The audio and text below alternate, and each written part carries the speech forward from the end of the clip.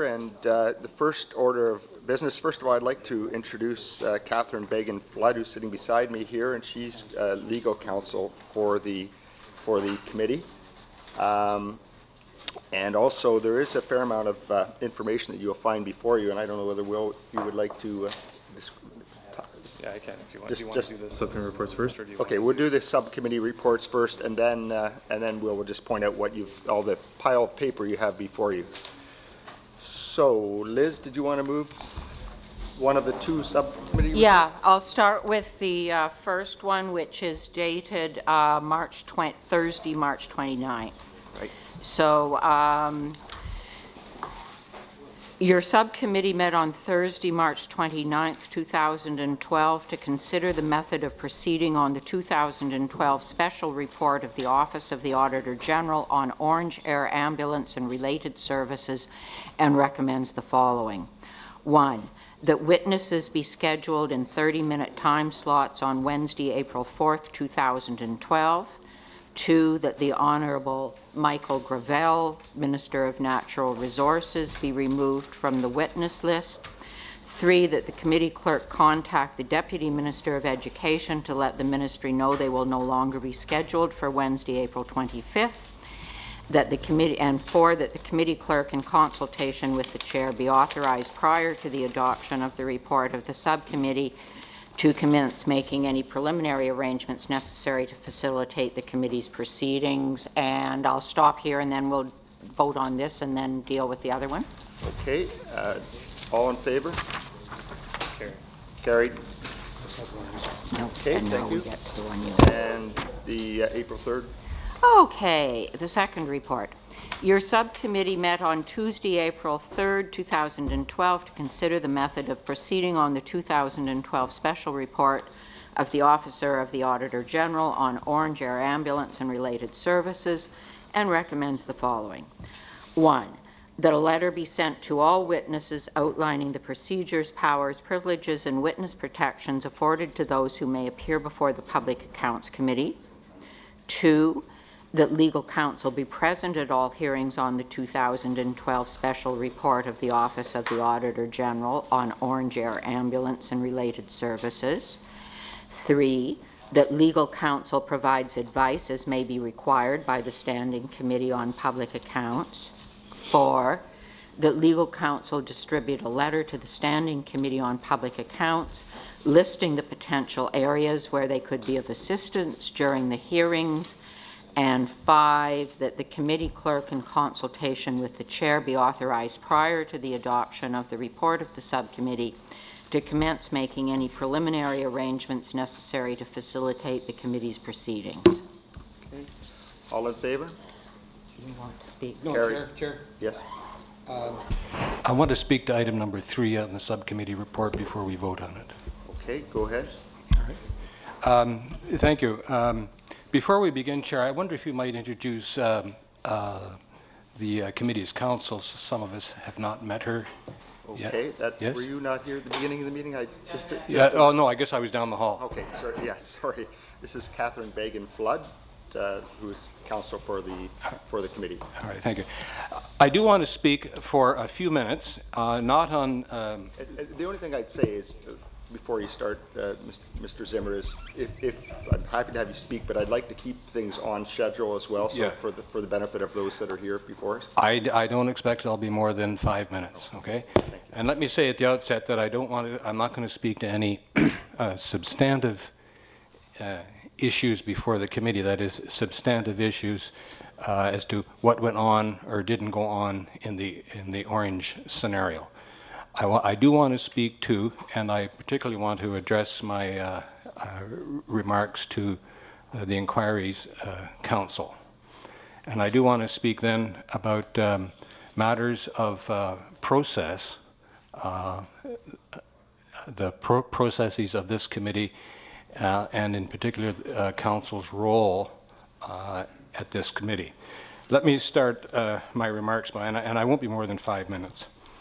Um, this inquiry raises uh, very, very complex um, legal issues, issues surrounding what went on or didn't go on at uh, Ornge, it raises complex um, uh, legal issues because uh, some of uh, some witnesses before the committee, non-MPPs, are under oath. Uh, there is a parallel criminal investigation being conducted by the OPP. Uh, we have no knowledge of uh, uh, what's going on in that investigation or indeed where that's going to take us or who they're speaking to or not speaking to. There is the, uh, I expect in all probability, the likelihood of some complicated uh, civil proceeding litigations that may flow at when this is all over out of what went on or didn't go on at Ornge. So uh, my questions and the issues that I want to raise are substantial uh, about process and particularly counsel's role. Uh, in my view, the role of counsel is to uh, advise the committee, uh, give it counsel's best possible advice uh, on an independent, nonpartisan basis. Uh, counsel, in my view, advises the uh, chair, takes questions from the chair, offers guidance when asked and when not asked of the chair and of the clerk of the committee, and indeed is available to member, all members of the committee, be they liberal, conservative, or NDP, in how they can fulfill their duties and responsibilities. The um, of particular concern is um, matters that may come before this inquiry and how those matters, um, depending on what this committee does with them or does not do with them, affects uh, or may affect uh, proceedings in the independent criminal investigation, uh, potential uh, civil proceedings dealing with the complex issues uh, that we're dealing with here. And so um, I have um, these uh, questions that I'd just like to raise with counsel, about four or five of them, and perhaps she can assist us with them, or the chair or the clerk. Um, I think we have to uh, clearly understand, as members of this committee, uh, the clerk and the and the chair, um, the the role of counsel and and counsel's um, and counsel's mandate. I can tell you that, um, um, as I understand it, and correct me if I'm wrong, Chair or Mr. Clerk or Madam Counsel, I understand you've been um, recently retained. I, I, that's what I'm advised in the last few days or week or so. Is that? That's correct. Is that and- correct? And the, and the counsel has met with the subcommittee. Yes. And the counsel has provided uh, uh, information on, which you have before you, on uh, how she thinks she can assist. And I think many of the points you make are the- the reason that we have retained counsel. All right. So this issue you came can- up about the, about counsel's role and uh, how, how counsel would um, uh, fulfill that role in two previous inquiries um, uh, before st- standing committees. One was the, um, the uh, inquiry, uh, August 1994, uh, special, the Standing Committee on the Legislative Assembly, and um, the members of the committee there, uh, MPP Callahan, Shirelli, Hanson, Harnick, Johnson, Marchese, Matheson, Murph- Murphy, Winninger, and Sutherland. Lisa Freeman was the clerk of the committee. Now, here's the important point. There were two counsels to the committee. Eleanore Cronk, who at Fasken and Calvin, a senior counsel, and a junior counsel, William Horrigan, uh, also at the, at the same firm. As you know, Counsel uh, uh, Eleanore Cronk was a distinguished lawyer who went on and now sits on the Ontario Court of Appeal. And uh, in that inquiry, at page, uh, to the point. Uh, We have witnesses here, we have business to conduct. Yes, You I- haven't made a okay. point yet, and it's all been 10 I minutes. appreciate that, Chair, but the, you know, the role of counsel and what this committee has to do, we've got to get it right, because if we get it wrong, there are independent criminal investigations out there, there is complex civil litigation I expect to be pending, and what we do here, if we don't get it right, may, may compromise the independent criminal investigation and the work of the civil proceedings. So for the investment of 10 minutes, five or 10 minutes, to ensure that we get it right is the right way to proceed. In the two previous inquiries, they spent some several days sorting out the role of uh, counsel. I've got the transcripts here. I've asked the clerk to distribute the transcripts. You can see what then counsel Eleanore Cronk, now Justice of the Court of Appeal, advised the committee as to what she thought the role of uh, committee counsel was. Similarly, with respect to the inquiry that was done by the Standing Committee on uh, the Legislative Assembly um, uh, dealing with um, Shelley Martel. There's another two distinguished counsels on that committee were Patricia Jackson at Tory Tory, Larry Taman, who went on distinguished role in government as counsel of that committee. He spent several pages, and they spent uh, several half days, I think, of the subcommittee sorting out what the role of counsel was to the committee.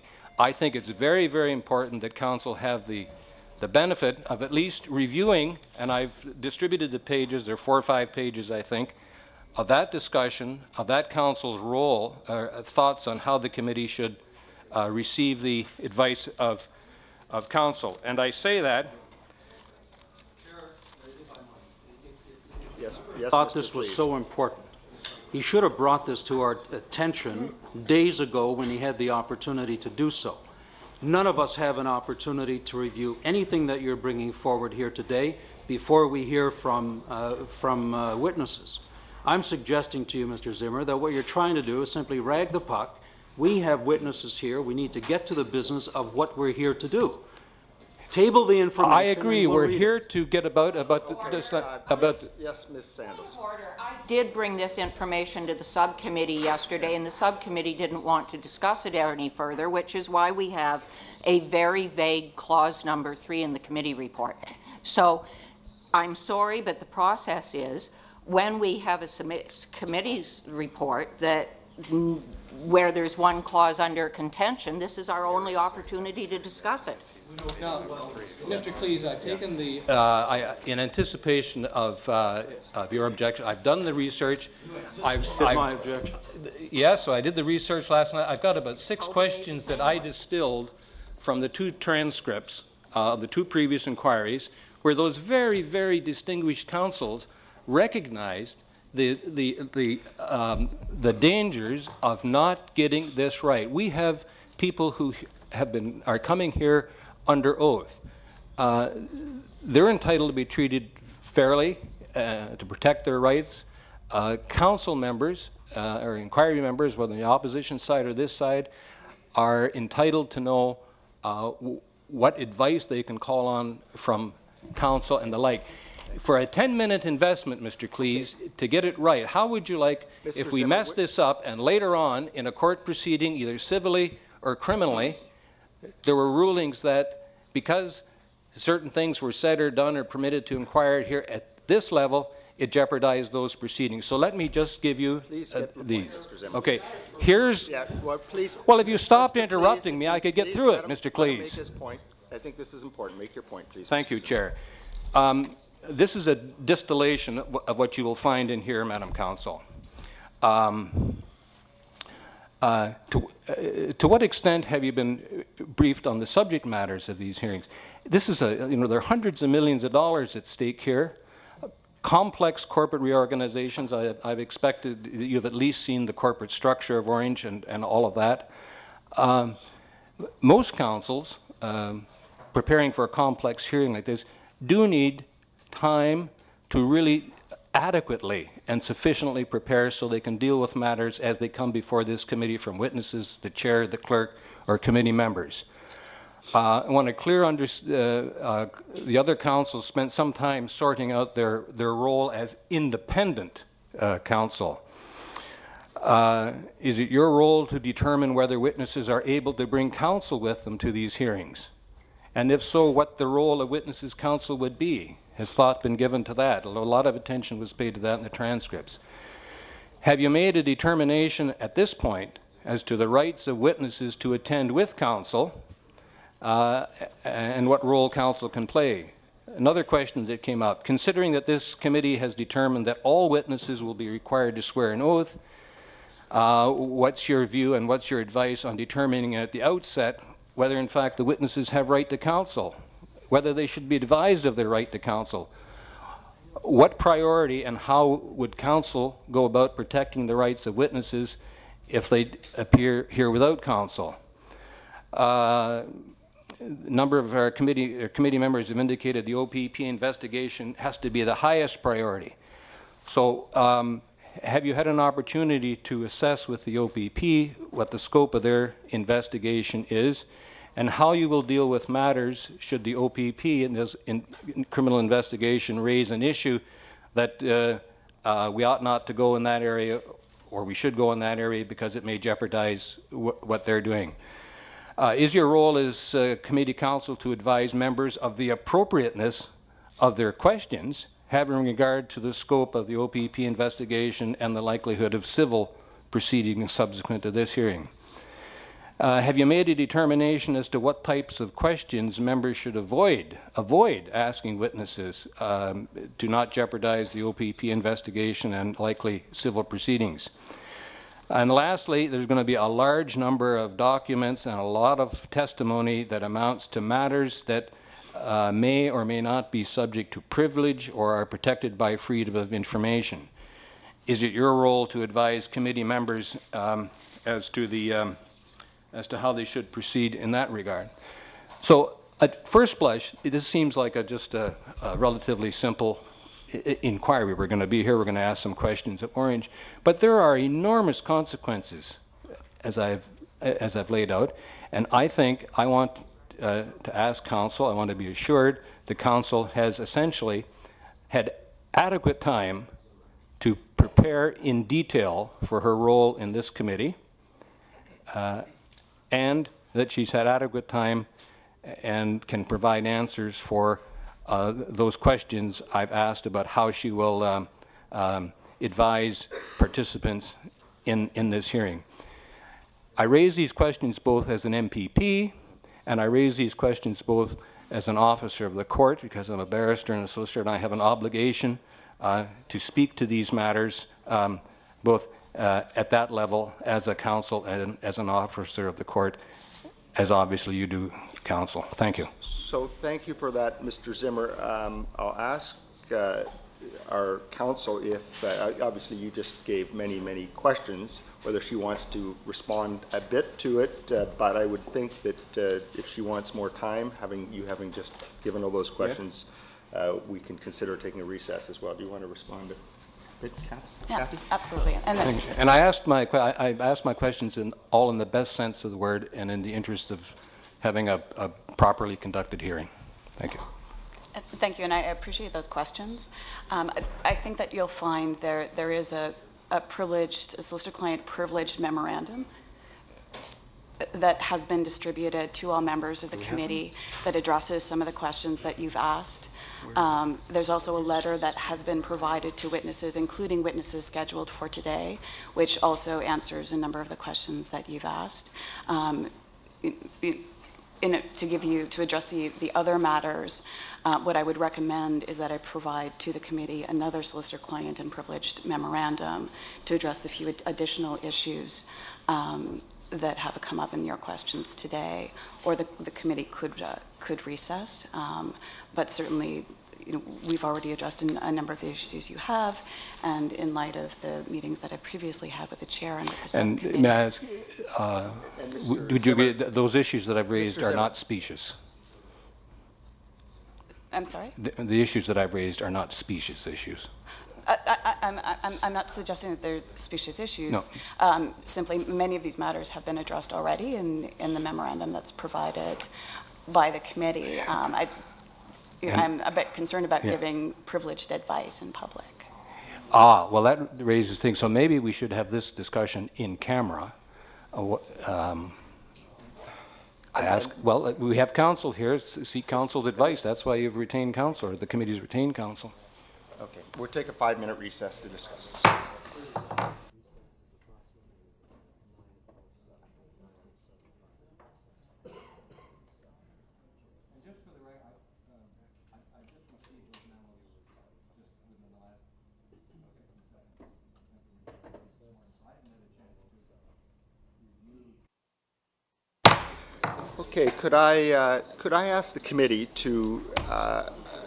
decide on the subcommittee report to adopt that, and then immediately after, we shall go into closed session to uh, further discuss uh, the the points raised by Mr. Zim? Yes, So if, if I, just to make sure I understand what we are agreeing to, that we'll agree to the subcommittee report that has um, item three in it, but then we will, Go into which closed is the session to, sort uh, of vague address- item three, or would it be better if we recessed, discuss what we need to discuss, and then possibly um, come up with, I, I guess what I'm looking for is where is the outcome in terms of ability to flesh out number three? yes, okay, so that is another option, we could do it that way. I think I would prefer that because that gives us the option of fleshing out number three so that we have terms of reference when we come back from the in-camera session. So we're not going to, we want to sort this out. So can we uh, Yeah. please decide on the subcommittee report minus point three then, please? Yes, that would be quite acceptable. And, yes, Mr. Klees. Mr. Chair, I just want to, no, Mr. Zimmer, Mr. Klees? please, go Mr. ahead. Chair, it's very obvious what's going on here. Uh, You know, Mr. Zimmer came late to this meeting. Uh, There was, there was information, there was information, no, 8:30. Mr. Mr. Zimmer, I let you speak. Mr. Zimmer, Mr. I let Zim- you speak. Mr. Zimmer, let, Mr. Zimmer, please let Mr. Klees Mr. speak. Zimmer, there was information at our desks that addressed most of the issues that you addressed in your delay tactic. What is going on here, Mr. Chair, is precisely the reason that we called for a select committee of the legislature, where the appropriate framework could be worked out, where the terms of reference could be worked out, where all of the issues that Mr. Zimmer addressed could have been worked out before we got into this situation. We said from the very beginning that the Public Accounts Committee is not the forum to review and to investigate the matters before us. It was the government, and Mr. Zimmer himself, in debate on the Select Committee, made the point that this is all we need. Now he comes here and he delays the hearing. We have uh, witnesses here who have come, are prepared, have taken time out of their busy schedule to be here, and Mr. Zimmer shows up here to make the very arguments that we made in the legislature as to why we need a select committee of the legislature. This is an insult to the people who are here, and what I'd ask Mr. Zimmer to do is to go back in the recess and tell his premier that what is needed is a select committee. We're certainly prepared, Mr. Speaker, or Mr. Chair, to move that we defer these witnesses who have come here to a select committee so that we can get on and do this appropriately. But in the meantime, this is something that is an offense to this committee. And Mr. Chair, I would ask you to see through what Mr. Zimmer is doing and ensure that we can get on with the business of this committee. Thank you for your point, Frank. I mean, I have been on public account for a little while, and we've had contentious issue come before public account. You'll all remember e-health. And we were able to continue to work together because we wanted to go to the bottom of this. Mr. Zimmer was there, Mrs. Sandals was there during those discussions. This sudden change of tactic is, is really unpleasant, is not productive, and it's like, I understand they want to change the channel to something else than talking about Ornge. I guess they don't want to talk about Ornge, but this is what we're here to do. Uh, they have many, many times in the House talked about the power of the Public Accounts Committee, and most of this power comes from the fact that we all work together so that the good work of our auditor of getting value for money actually pans out to getting value for money for the people of Ontario. And out of a sudden, to have this taken off on a tangent of legalese talk is not serving this committee well. It is certainly not serving the, the witnesses that have come. I am ready to ask those witness questions. I have no fear that any of the questions that I'll be asking those people will run me or any of you into trouble. I say we move ahead with uh, what we had intention to do this morning.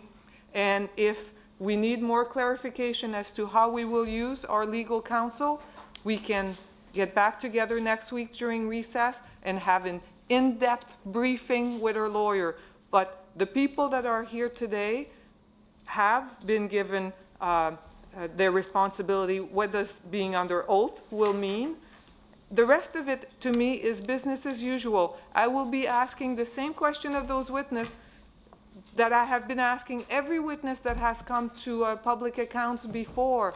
And to, to sidetrack us, to recess, to make us basically not do our work is counterproductive to what we're here to do.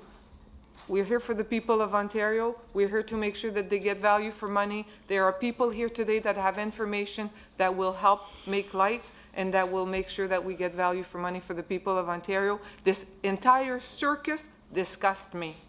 Thank you, France. Uh, Liz? Yes, thank you very much. Um, First of all, let me make it perfectly clear that there is nothing I would like to do more than to hear from Mr. Smitherman. I am absolutely delighted to hear from my friend, Mr. Smitherman.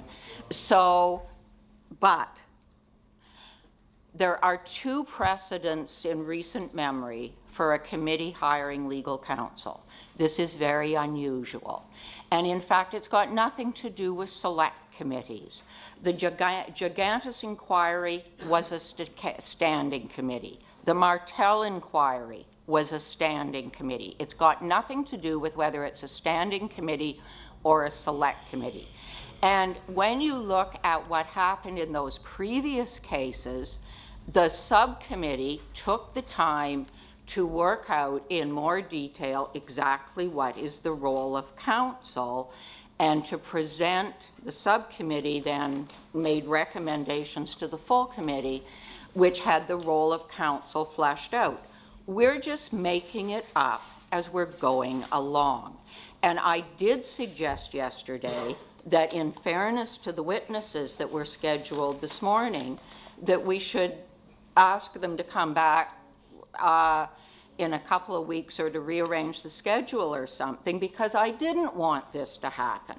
But when the other two parties said, no, we don't want to discuss the role of counsel in advance in detail, you leave us no option but to bring it to the floor of the committee. I would have been perfectly happy to work through this yesterday or to do a formal deferral of the witnesses. But it seems to me very strange that when we're dealing with a report where, of the auditor, where everybody seems to be in agreement that one of the issues is did the performance agreement, was it thought out well enough in advance? Now we're doing the terms of reference for a new enterprise where they thought out well enough in advance. We're doing exactly the same thing here. We're going down a new road. We need to think out the terms of reference of legal counsel because it matters. I have never, ever been on a standing committee where the witnesses were sworn and where the committee had counsel. That changes the game. We need to sort what out what are the rules and what is the role of counsel. And I would note that yes, this appeared on our desk this morning, but from the point of view of the witness, the witness didn't get to read it until he was going out the door this morning and opened his email. So, in fairness to the witnesses, we're also disadvantaging the witnesses if they don't have a chance to look at the implications of being sworn in advance. And I totally support the suggestion of the chair that we go in camera and sort it out. Uh, Mr. Barrett? Yeah, thank you, Chair. Uh, I do have a, a motion that is before members of the committee. I do wish to have this motion considered before we go forward with our uh, witnesses. Uh, We, we have uh, business, obviously, We- we'll get to that, but we're, we're, at this point, we're still discussing point three of the subcommittee. Certainly. Yeah, thank you, Chair. Yes, Mr. Zimmer? Just uh, pick up on something um, uh, NDP member uh, uh, France Gélinas said, look, th- you know, the Public Accounts Committee is in fact the place to do this exercise. But for the Public Accounts Committee, and this is the thrust of my submission, given all of the complexities that we have to deal with, what we have to do is get the ground rules right about how we go about this inquiry. One of the essential elements of those ground rules is counsel's role. For instance, has counsel had a chance to uh, read in detail and consider in detail the some close to 250 page, 200 page uh, performance agreement, which is going to be essential to this thing? Has counsel had a chance to consider, and the transcript from the Gigantes inquiry, there are 14 uh, single-spaced pages of uh, advice and, and sort of decisions about how uh, counsel commission, or counsel, uh, um, inquiry counsel Eleanore Cronk was going to proceed.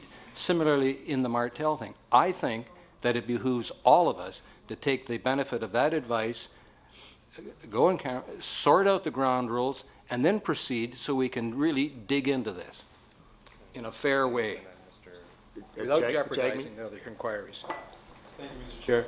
Um, Mr. Chair, with respect to uh, the role of counsel, um, it's very confusing or disturbing to me that uh, if we didn't have counsel here today, if we hadn't have hired counsel, we would have gone on with our inquiry, asked the questions as we did on the first day of this, of this uh, committee when we had witnesses, and proceeded uh, as normal.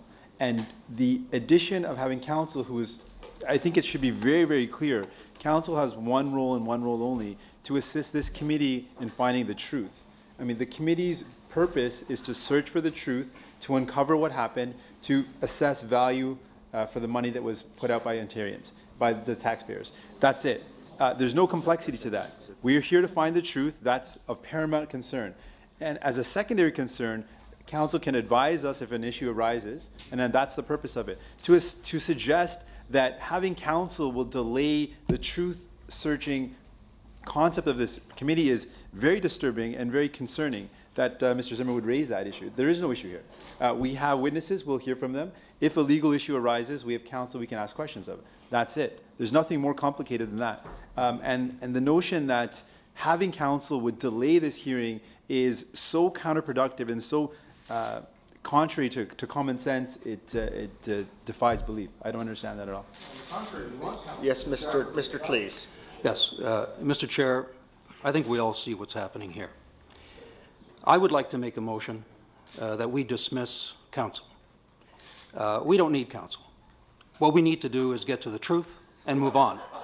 And I would like to make a formal motion that we dismiss counsel and that we retain her for the select committee when the government agrees to strike that. That is my motion.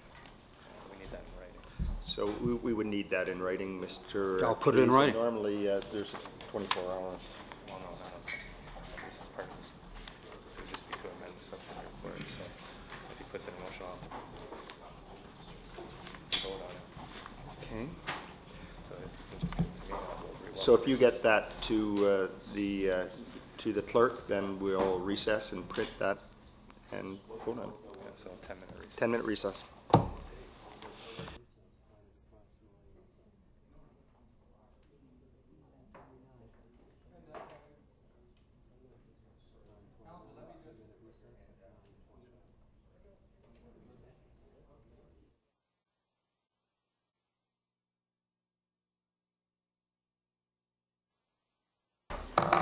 Okay, so uh, the first uh, order of business then, now that we're back in session, is if we could get the subcommittee report minus point three, the subcommittee report minus n- number three, point number three, approved by the committee, then we would then uh, go to debate uh, the motion put forward by Mr. Klees.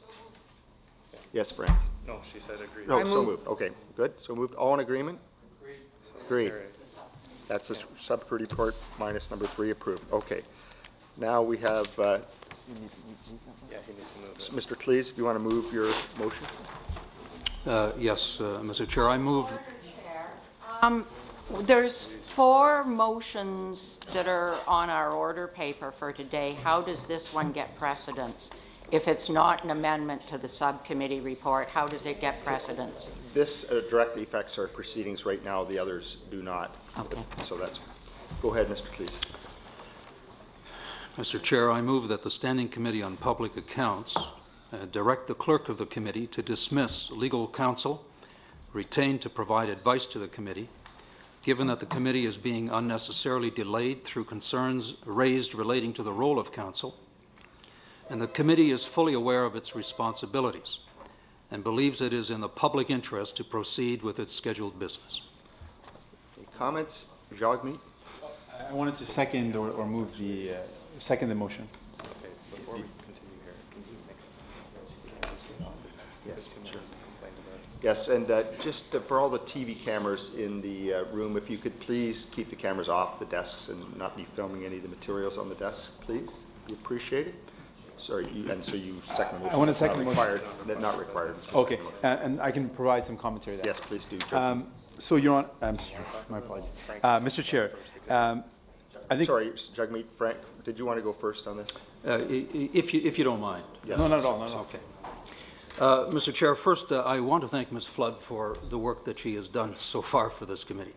Uh, Appreciated the helpful uh, memorandum, uh, and um, I certainly uh, will be prepared to uh, recommend uh, Ms. Flood's services for uh, the Select Committee uh, when the government finally decides to get around to respect the will of the legislature with regard to that committee. The motion before us is straightforward. It respects the fact that members of this committee are fully aware of their responsibilities, not only as members of this committee in terms of how to conduct its business, but also the sensitive nature of uh, the uh, issue before us. There isn't a member of this committee who does not have extensive experience as a legislator in the various committees of this government, who does not understand the importance of respecting the parameters. We discussed that at length, uh, not only leading up to this committee hearing, but also uh, it was discussed uh, in the subcommittee. We have witnesses here who have been called, who are ready to give us the information based on our questioning. I know that every member of this committee will in fact ensure that their questions respect the parameters of this committee, will respect the sensitivity, and my point with this uh, motion is very simply to let Mr. Zimmer and the government members know that we see through what has happened here this morning. There was an opportunity, uh, uh, Mr. Chair, for Mr. Zimmer to raise this informally uh, with uh, committee members. Had he been sincere uh, in his words as he expressed them this morning, there was ample time to have this discussion, to bring the information forward that he tabled with us at the last minute here today.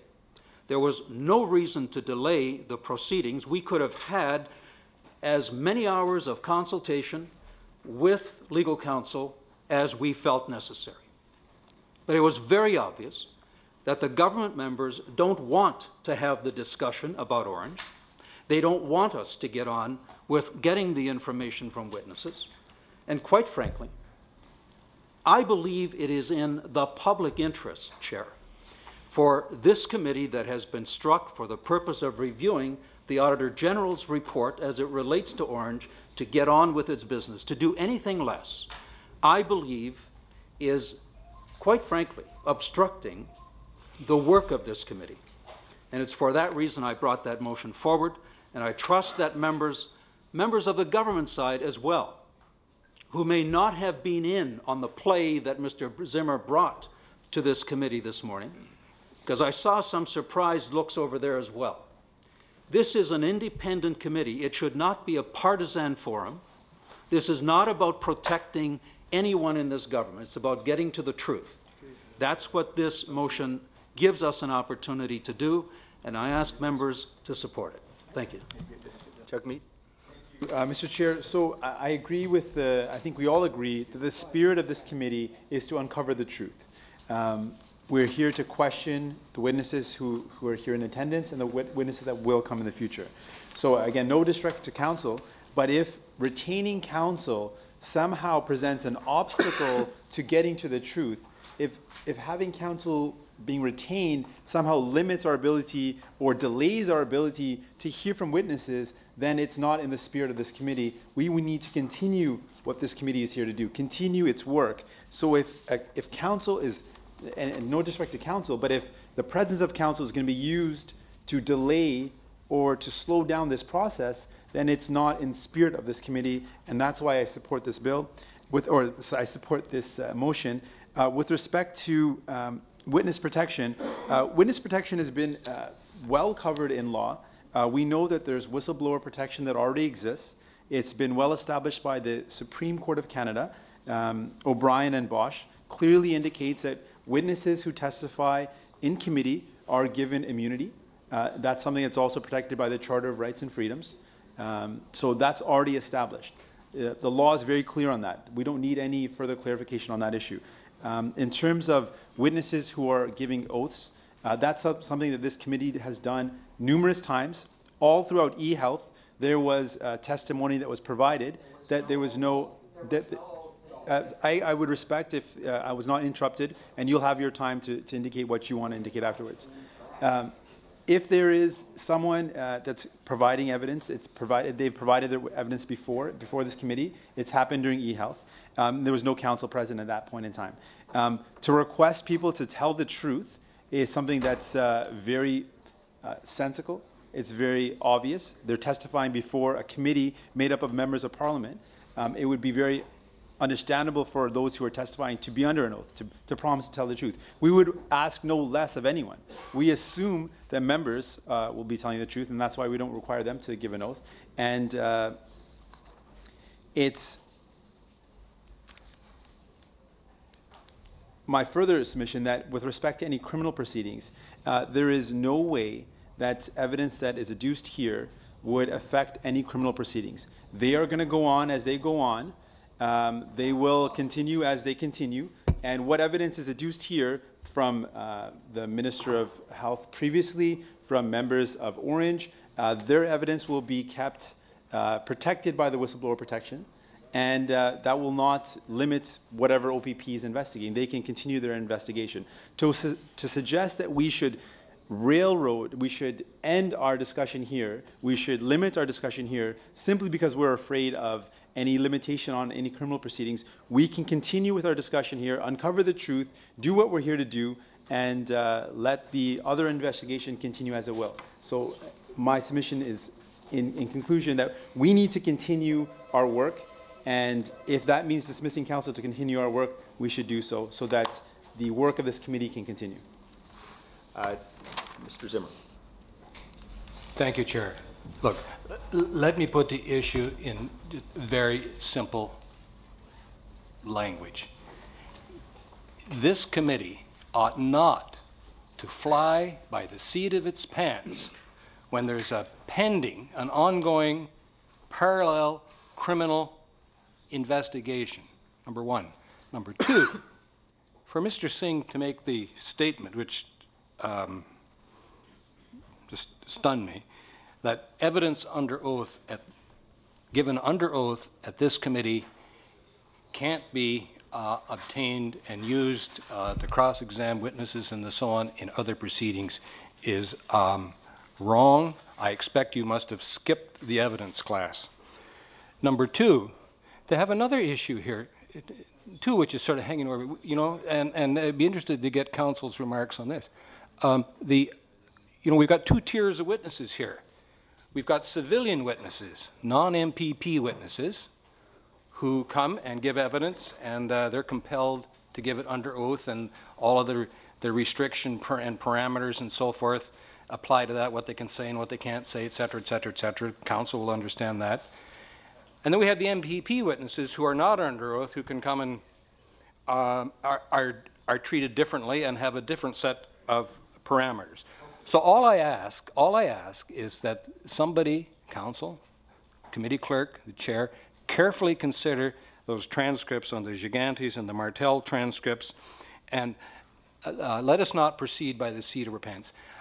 I, I want to ensure, and I'm speaking against uh, Mr. Klees's motion, we do need committee counsel.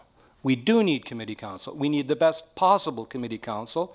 We've got a distinguished counsel from a very, very distinguished law firm, knows her stuff, but let's make sure that we get the ground rules straight so that we preserve the integrity of this committee's findings, whatever they may be, and we preserve them in such a way that they don't uh, unwittingly jeopardize other proceedings which may arise out of the criminal proceedings. Thank you.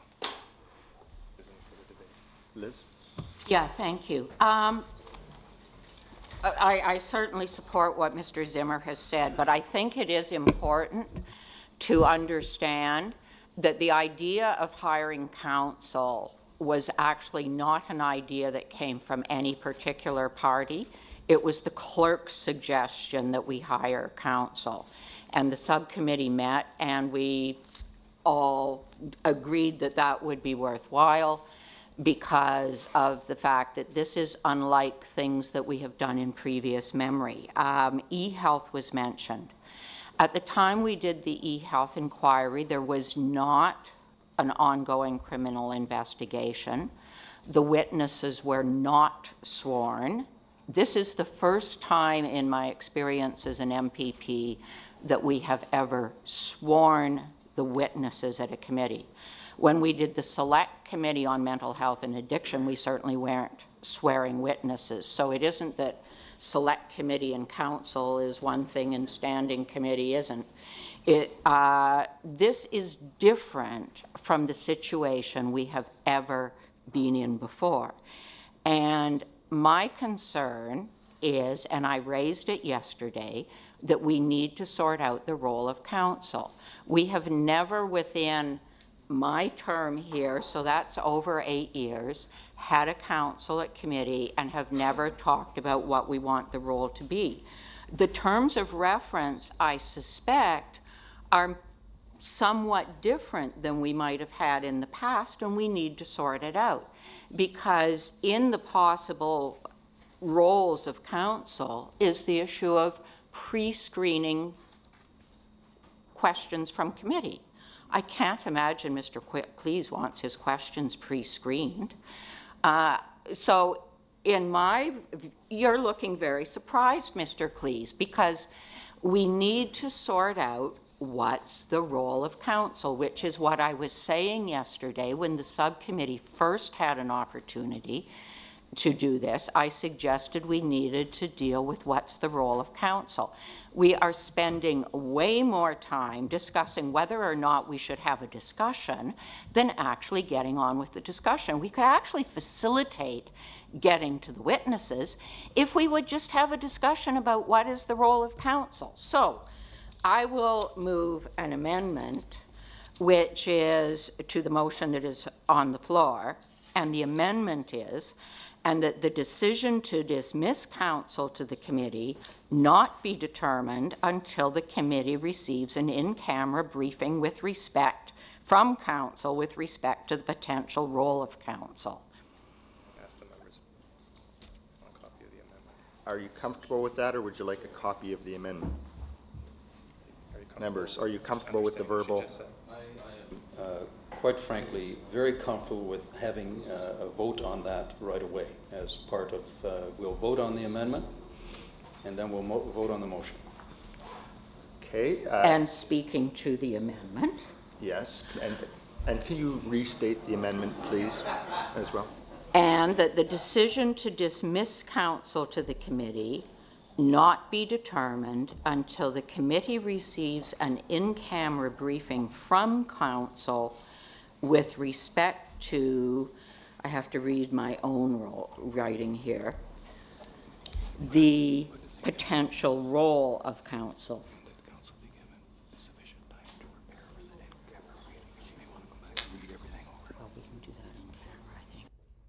So what continues to concern me is that we're, re- oh, yeah. Is the, in the subcommittee meeting, there was a list of possibilities that was presented to us. I asked yesterday that we go through those potential roles and determine in detail what it is that the potential role of counsel is. And it seems to me that to start the hearings, I, I understood, Stan, we already did a day with the deputy and the ADM and the, um, and, and the minister, which was like our conventional public health, our, our public accounts hearing. But we're dealing, moving into a different realm where we've got external witnesses who are being sworn, and we really do need to determine what, where we expect counsel to step in, what her role is, if any, in advance. And we need to sort it out, not at some case by case on the fly where we're going to be colored by who the witness is. We need to have a neutral, non-witness influence discussion about what is the role of counsel. That's all I'm asking for is wh- that we have the discussion. And we've wasted all morning thinking about whether or not we can discuss the discussion. Okay, are you finished, uh, Mr. Ouellette, Jerry? Thank you very much, uh, Mr. Chair, and you know, uh, having been a member of this committee for uh, almost five years and chaired many committees, and some of them were uh, very controversial in the past, um, and sat through other aspects such as e-health. Uh, We didn't have legal at, uh, advice at that time, nor did we have legal advice during the first presenters of this committee. Um, I do have concern regarding pre- uh, precedent being set that any controversial issues found within the legislature can be delayed by enacting actions such as OPP investigations for further actions of this committee. I believe that, um, quite frankly, that uh, one of two things is, is occurring, is that um, either there is a uh, lack of belief in the ability of the counsel that has been presented before us, uh, in that uh, they do not have the capacity to advise us with the correct movement forward, or it should have taken place already, or that the, the full intent is to delay the committee's actions and recess this committee until such time as the OPP have completed a complete investigation. I don't believe that it is moving forward in the best interest of this committee, and I think that we should move forward with the question that has been presented before us, Mr. Chair. Mr. Zimmer? Uh, And of course, uh, the uh, uh, the other reason um, uh, to uh, give the counsel a chance to do her work and and brief us and find out what uh, her view of things is, is number one, so that counsel can fulfill her obligations to the committee and its witnesses that appear before it, and, and I say this with the greatest of respect, so the counsel can uh, fulfill her professional obligations uh, as a lawyer, an officer of the court and so on, and I want to make sure that the counsel has every opportunity to digest and uh, familiarize herself with this very, very complex matter. Uh, France? I'd like to call the question on the amendment and call the vote. If there's any other debate, A- Any further debate? Recorded vote, okay. All those in favor of the amendment to the amendment? Um, Mr. McNeely, Mr. Moridi, Ms. Sandals, Mr. Zimmer. All those opposed? So the only voting member. Uh, Mis- Mr. Barrett, Mr. Klees, Ms. Madam Jalina, Mr. Singh. so being a tie vote. Being a tie vote, uh, I will vote against the uh, amendment. And now, can we call the, uh, The same question on the actual the motion. same question on the actual uh, motion? All those Yes. in favor? All in favor? You want to record it, no recorded vote required? All those opposed? All opposed? Okay, so it's the same thing. And once again, I will vote against the amendment and No, to- against the motion. against the motion, and the reason being that the full committee has uh, already decided the matter of agreeing to hire legal counsel, so I'm maintaining the status quo of the uh, committee. And the committee has already decided to have, uh, to have uh, the hearings going on as well. So now I would suggest that we go into closed council. I would suggest we go into a closed session so that we can uh, decide the parameters of the legal counsel. So that we can continue with the work of the committee. So, Appropriate time this morning to present this motion? We can come out of closed session at the end. we can come up- out of closed session at the end uh, to look at your motion, but for now we will go into closed session, so we need to clear, we will need to clear the room.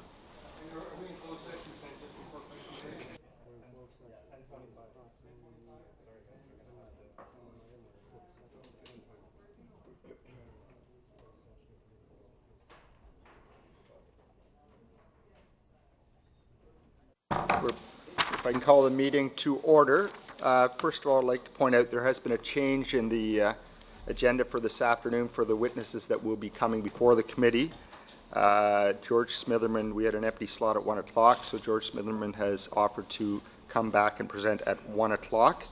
And also, uh, the the uh, chair of the Board of Ornge uh, is going to be uh, t- uh, presenting at 2 o'clock uh, instead of uh, Mr. Barry McLellan, board member, who is going to be called at a later date. Um, So at this point, we have uh, point three to do with legal counsel. Ms. Sandals? Yes, and just to note that we have sorted out the details of this in camera, and that I am pleased to move that legal counsel provides advice as may be required by the Standing Committee on Public Accounts. Is there agreement on that? On agreement? Agreed? Carried. Okay, so our first uh, presenter this afternoon is uh, going to be from the Ministry of Economic Development and Innovation, Wendy Tilford, Deputy Minister. Are you present? Yes. Yeah. Just confirm that she wanted to be affirmed. And uh, did you want to be affirmed, uh, Ms. Tilford? Or sworn, or? sworn? Sworn. Sworn? Okay, welcome to the committee. Thank you. Uh, Ms. Tilford, uh, do you solemnly swear that the evidence you shall give before to this committee touching the subject of the present inquiry shall be the truth, the whole truth, and nothing but the truth, so help you God? Yes. Thank you. Yes, and just to. I gave it to her. yeah. Okay, I'm just confirming with, that I was reminded by legal counsel that you did receive the uh, witness appearing before a standing committee on public accounts information. provided. Yes, yes, I did, thank you. Thank you very much, and we'll, uh, so we have uh, half an hour in total, so that will mean there's, uh, how much time? Eight minutes. For, Oh, for- five minutes. Five minutes for a presentation, and then there will be eight minutes split amongst the three uh, different parties for, for questioning, so please, go ahead. Thank you. Well, good afternoon to the chair and to the committee members. I'm Wendy Tilford. I'm the Deputy Minister of Economic Development and Innovation. I was appointed to that position in December of 2011 when the Ministries of Research and Innovation and Economic Development and Trade were merged. Prior to that, I was the Deputy Minister of Economic Development and Trade. I was appointed to that position in February of 2010. The mandate of our ministry is jobs in the economy. We support the domestic and international growth of Ontario companies. We provide programs and services to foster innovation, and we promote Ontario as the best choice for foreign direct investment. I have no involvement with respect to the creation of Ornge, its structure, or the delivery of its mandate. However, since the Ministry of Economic Development and Trade had some interaction with Ornge with respect to a 2011 trade mission, I thought the committee would appreciate some background on this. The ministry, sometimes with partners, sometimes on its own, hosts about 60 trade missions annually. We have found it to be a very good method to introduce Ontario companies to new market opportunities. In 2010, the ministry was considering, in partnership with the Canadian Arab Business Council, a trade mission to focus on the growing healthcare market in the Middle East. Ontario is home to many innovative healthcare companies that could benefit from expanding markets. The mission took place on February 20, uh, sorry, on January 26th to February 2nd, 2011. As with all trade missions, we promote the trip to as many Ontario companies as possible in the sector. There were 20 organizations on this mission, and Ornge was one of those companies. Ornge was represented by Lisa Kirby, the Director of Regulatory Affairs, and Paul Carter, the VP of Sales and Marketing. While I interacted with all the companies on the mission at group sessions and receptions, the government program was separate from the business program. I did not meet with Ornge or any of the other companies individually during the development of the mission, of the mission nor did I accompany Ornge or any company on their business meetings in the Middle East. So as the committee is well aware, I was copied on the memo from Ornge dated January the 19th. While I do not have detailed recollection of the contents of the memo, I do recall looking at it and noting that it focused primarily on Ornge's organizational structure. As the focus of my ministry at the time was the trade mission, and as the areas outlined in the memo were better considered by the Ministry of Health and Long-Term Care officials who were already copied on that memo, I did not take further action on the memo. A few weeks later, after the mission, in mid-February, I received an email from one of Ornge's trade mission participants requesting a meeting. Our ministry meets with businesses in the province every week. I would always meet with a company that had participated on a mission, hoping to learn about mission outcomes and their opinion of our services. So I and two officials from our trade division met with Ornge in mid-March 2011. Ornge provided an overview of the company and their services. For our ministry, the focus of the meeting was to seek feedback on our export services to assist with the ongoing delivery of our trade mandate.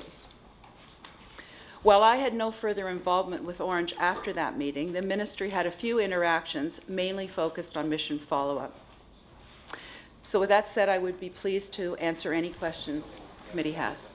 Okay, well, thank you very much for your presentation. Uh, And just to explain the way we're going to do this, for the first presentation, we'll start with the opposition, then the third party, then the government, and the next presentation will start with the third party, the next presentation will start with the government, but everyone will get equal time. Who in the opposition would like to ask questions? Thank you, uh, Mr. Chair. Thank you. Uh, Ms. Tilford, thank you for uh, being here today. Uh, To the uh, clerk, I have copies. Uh, You you don't recall uh, the letter that you received, the January 19th letter? No, I said I did recall it. Oh, you do? Yes, But you don't recall the specifics. not the specifics. Clerk, could we have the letter distributed, please? Uh, The reason for that, I just want to refer you to a couple of Okay. points there.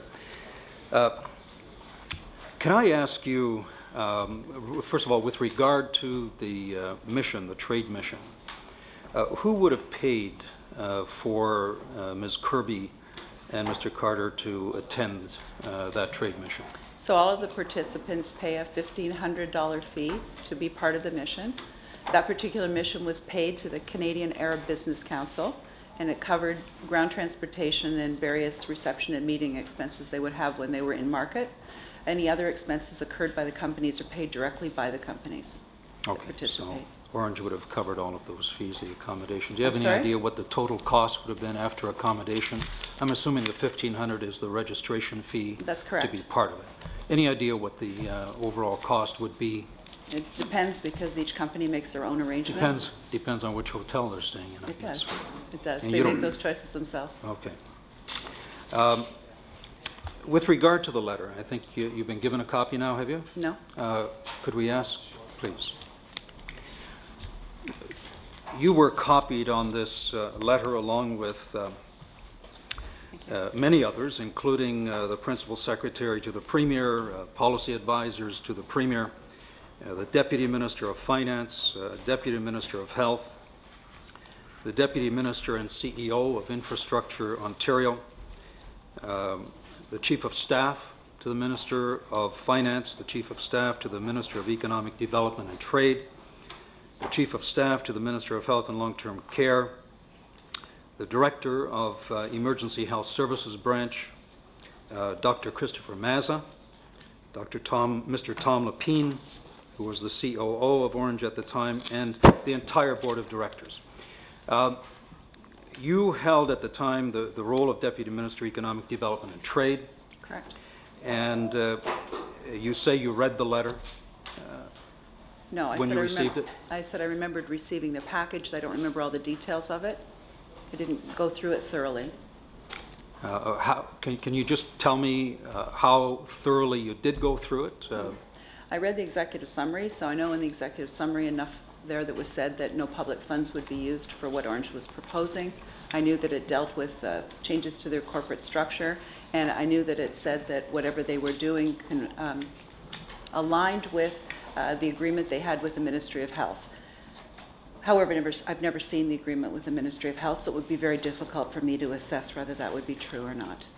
I also noted that it was delivered, it was addressed to the Ministry of Health, so I knew that they were the prime recipient on the letter. And you made the assumption that uh, if the Minister of Health received this, and uh, I'm assuming all these other people who were copied on it, that any details uh, would be looked after by them. Is that right?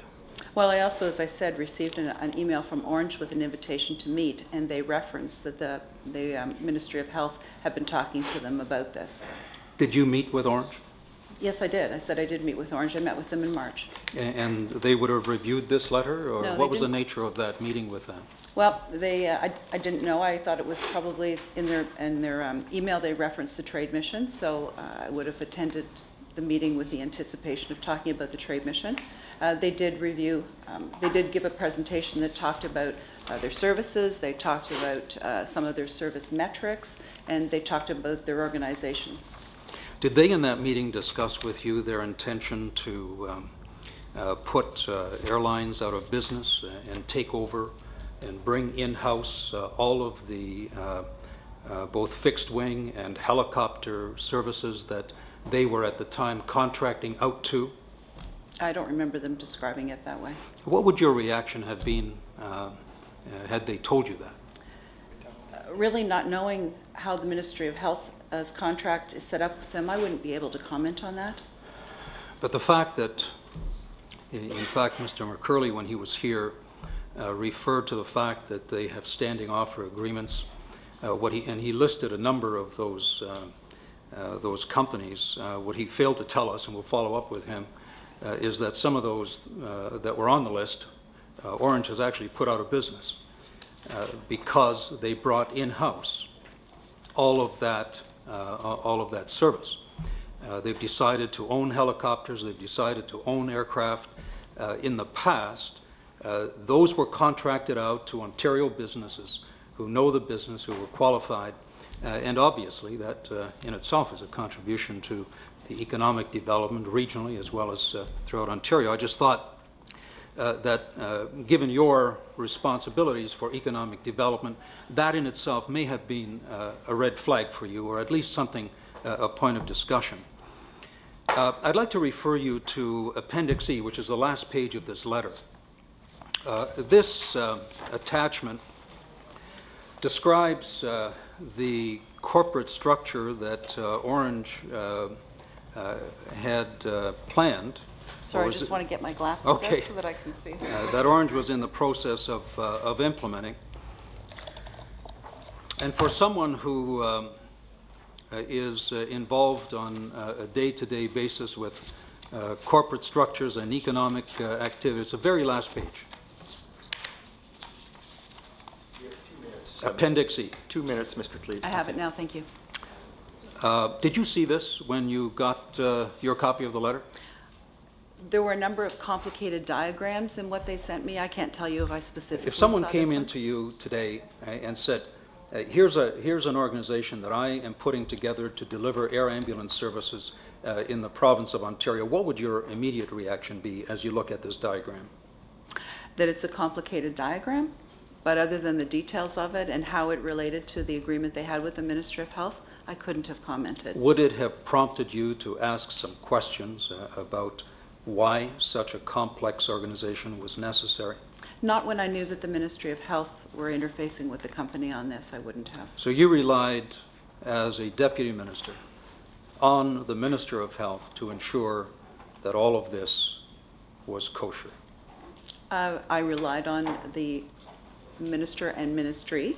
I deal more with the ministry than I do with the minister, um, with the ministry because they would have had the relationship with Ornge. And the responsibility of oversight, I'm assuming, right? Well, knowledge of the contract and the contractual agreements that would be had with that organization, yes. Thank you very much. Thank you very much. And who would like a question from the NDP? France? Thank ahead. you. Uh, Thank you for coming. My first question will be uh, quite brief, is you've made reference to an email that you received from Ornge asking you for a meeting, to which you said you agreed to meet. Would it be possible for you to track down that email and share it with the committee? Yes, it would. Okay, thank you. I would appreciate if you could do that. Uh, The second question I have is that um, we know that uh, Minister Pupatello visited Augusta Westland, the company that sold Ornge its helicopter, and then they uh, paid Ornge in 6.7 million in what looks really much like a kickback right now. Um, Do you know when Minister Pupatello met with AgustaWestland? Do you know if they discussed Ornge at all? So what I do know about discussions with the company that you referenced is uh, we, um, the ministry and the minister had met them at um, the Farnborough Air Show in 2010. So I would have been present at that meeting. There was no discussion about Ornge. Uh, In 2011, at the, uh, at the Paris Air Show, there would have been a, a contact made there. I wasn't present at that, but my understanding was there was no discussion about Ornge. And the minister um, met with the company when she was um, on a trade mission. Um, I was not present on that one, but I also understand that there was no discussion about Ornge.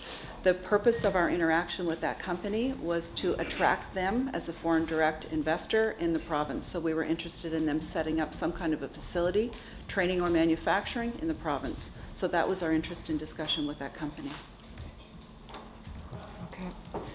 The, um, in your capacity at Economic Trades and Development, uh, you have received, you would receive a memo from a publicly funded provider saying that they receive a $5 million payout from a provider.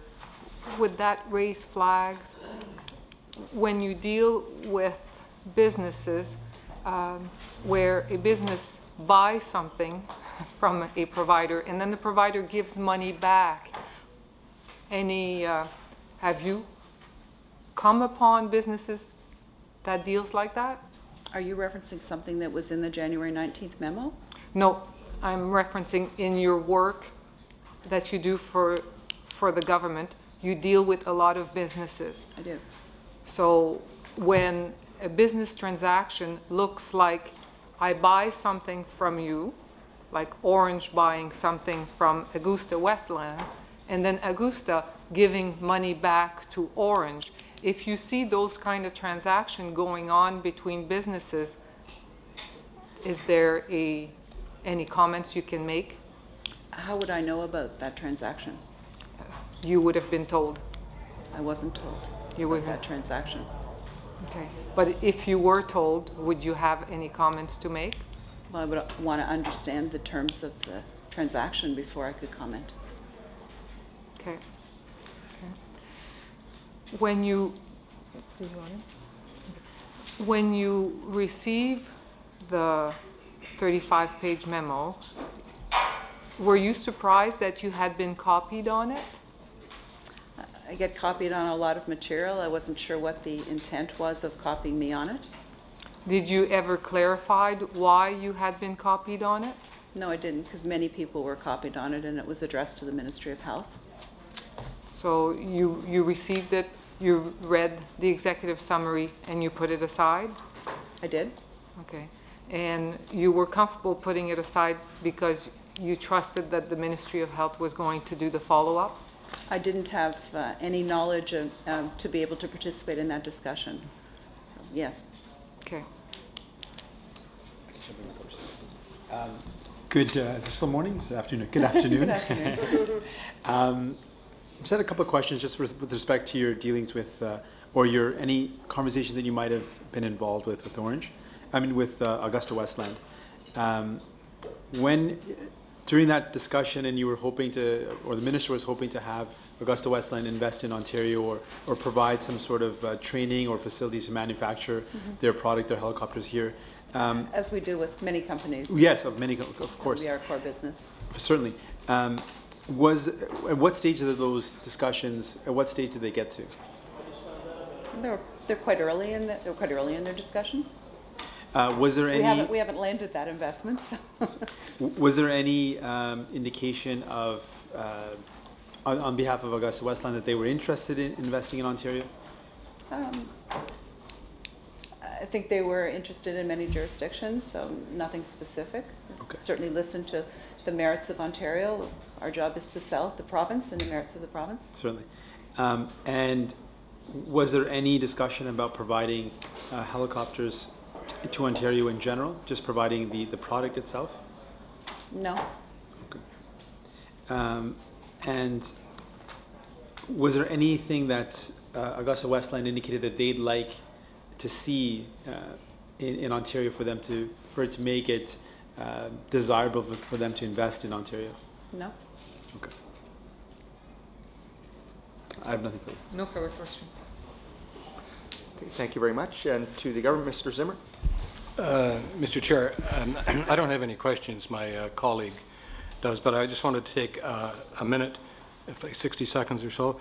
Uh, This morning, there was an exchange uh, essentially between Mr. Singh, the member for Brampton, Gore Malton, and uh, the exchange was about the, how um, taking an oath uh, for citizen witnesses might uh, differ from how MPP witnesses are are taken. Citizen oaths obligations flow from putting up their hand on the holy book of their choice or affirming, and it's a very dramatic exercise, tell the truth and so on. MPP's uh, responsibility to tell the truth flows from the legislative uh, act and rules governing their, how they conduct themselves as MPP, Both parties have an obligation um, to tell the truth. The point that I was trying to make that it was, it was more dramatic uh, for a civilian witness to hand up on a holy book and affirm it. And uh, in the course of that exchange, um, Mr. Singh made the point that the obligations were the same. He was correct on that. I put a different emphasis on it, but I particularly regret my um, uh, um, unfortunate remark that he'd missed his evidence school class. And uh, I apologize to Mr. Singh, the Brampton for Gore Mull, Brampton Gore Malton for that. Thank you. Other further questions? No, I have no further questions. Thank you. Liz? Yes, uh, thank you, Deputy. You made um, reference to the fact that uh, Ornge was included in an Ontario trade mission to the Middle East. I wonder if you could give us a brief idea how firms are chosen to go on a, on a trade mission? So we advertise trade missions, usually electronically, to as many companies in the sector as we can. And um, companies uh, respond by completing an application if they're interested. That's pretty much how it's done. Um, There may be the odd firm that comes to us that um, submits an application, and when we talk to them, we realize that uh, in- in conversation with them, that they're not quite prepared uh, to take this on yet, and maybe some seminars or something else would be a better vehicle first for them.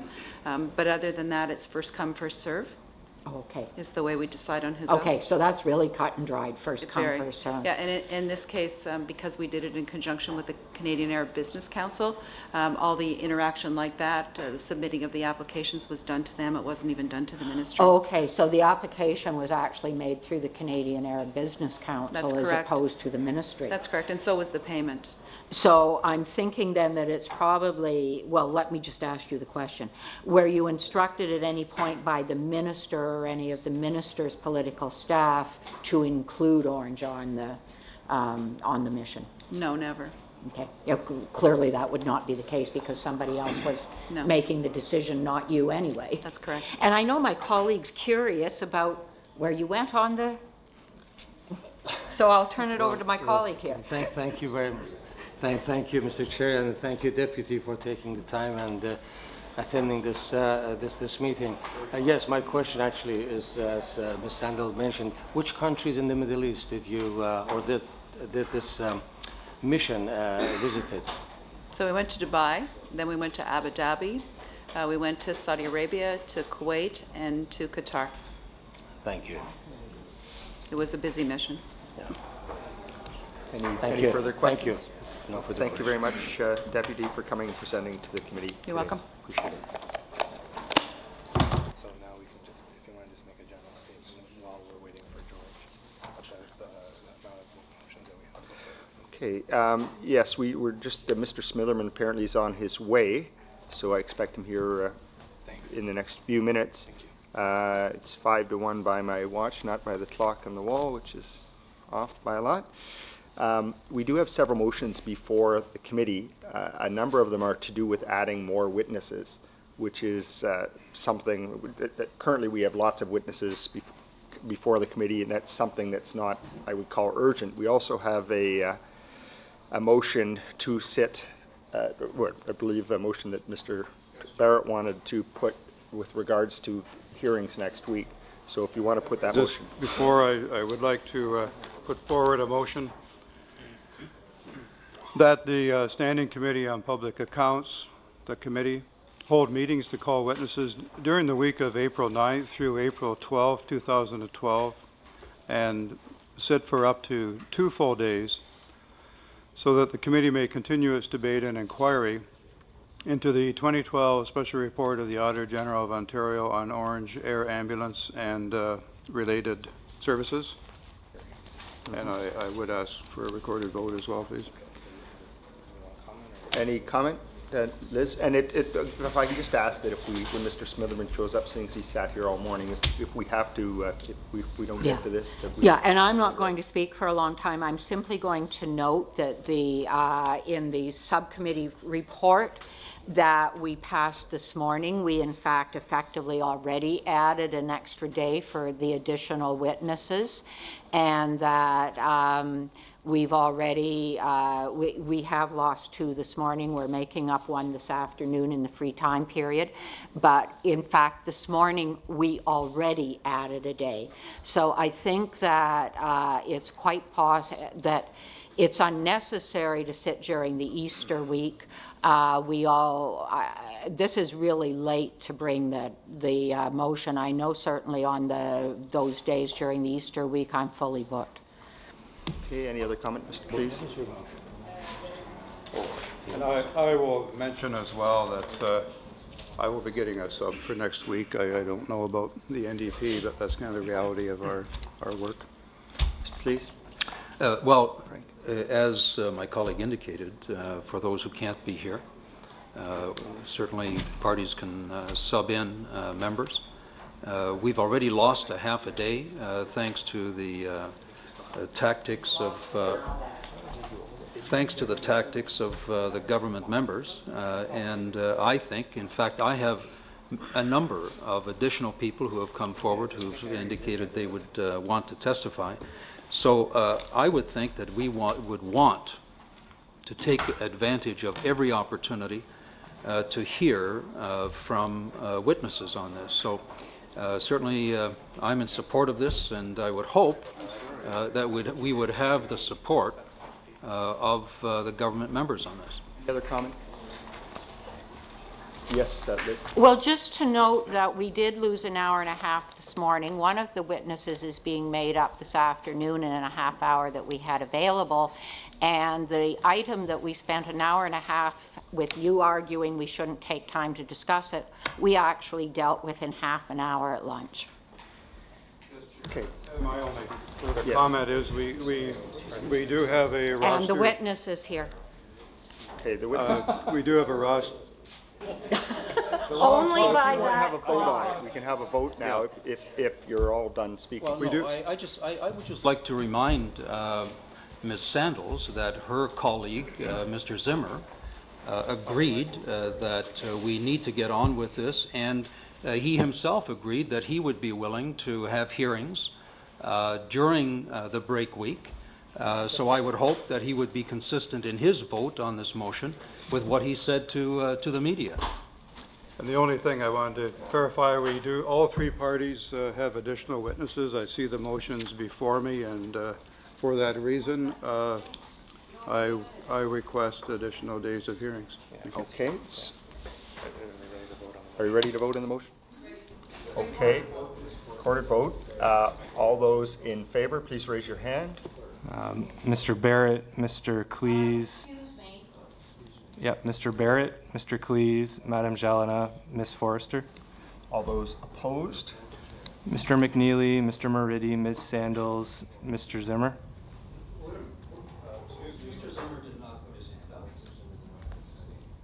You're, you're abstaining, Mr. Zimmer, is that correct? Okay. Okay, sorry, then so the- all, all those opposed then, say it again. Okay. All those opposed?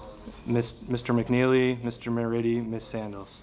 So then Okay, the motion carries. motion carries. So we'll, we'll notify the House leaders by uh, uh, a letter requesting extra time during Constituent Week. Okay, so we, I- we shall notify the House leaders by letter requesting extra, extra time during Constit Week. And- Okay, so now, uh, we have, I believe, Mr. Smitherman is here. Uh, Mr. Smitherman, if you could come before, and I'd first of all like to apologize for making you wait the whole morning. uh, Not at all. Not that you haven't spent a lot of time around this place, but, uh, but appreciate you. uh, For the clerk, uh, yeah. And, uh, Just gonna pour myself some water, if that's okay, Chair. yes, please do.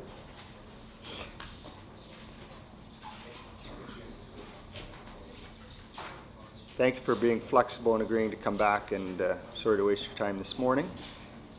Did you, and- and just to clarify that- that you did receive the witness appearing before a standing committee on public accounts I did. information? After the close of business last night, I looked at it briefly this morning. Okay. I was gonna bring my counsel, but he's in daycare. Okay, and uh, clerk will affirm you, Mr. Smithers? So could you just uh, raise your hand? Uh, Mr. Sol- Smitherman, do you solemnly affirm that the evidence you shall give to this committee touching the subject of the present inquiry shall be the truth, the whole truth, and nothing but the truth? I do. Thank you.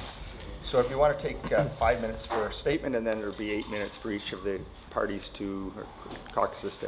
Mr. Chair, I, I timed this carefully, but I confess I may be five or 10 seconds beyond, but not much, so. Great. Thank you for your uh, consideration. Um, Ladies and gentlemen of the Public Accounts Committee, it's my privilege to be here today. I cherish the principle of accountability, and I support the idea that having more information in the public domain makes for better government. So I will gladly share the knowledge that I have. The context that I have is the 2003 to 2008 period.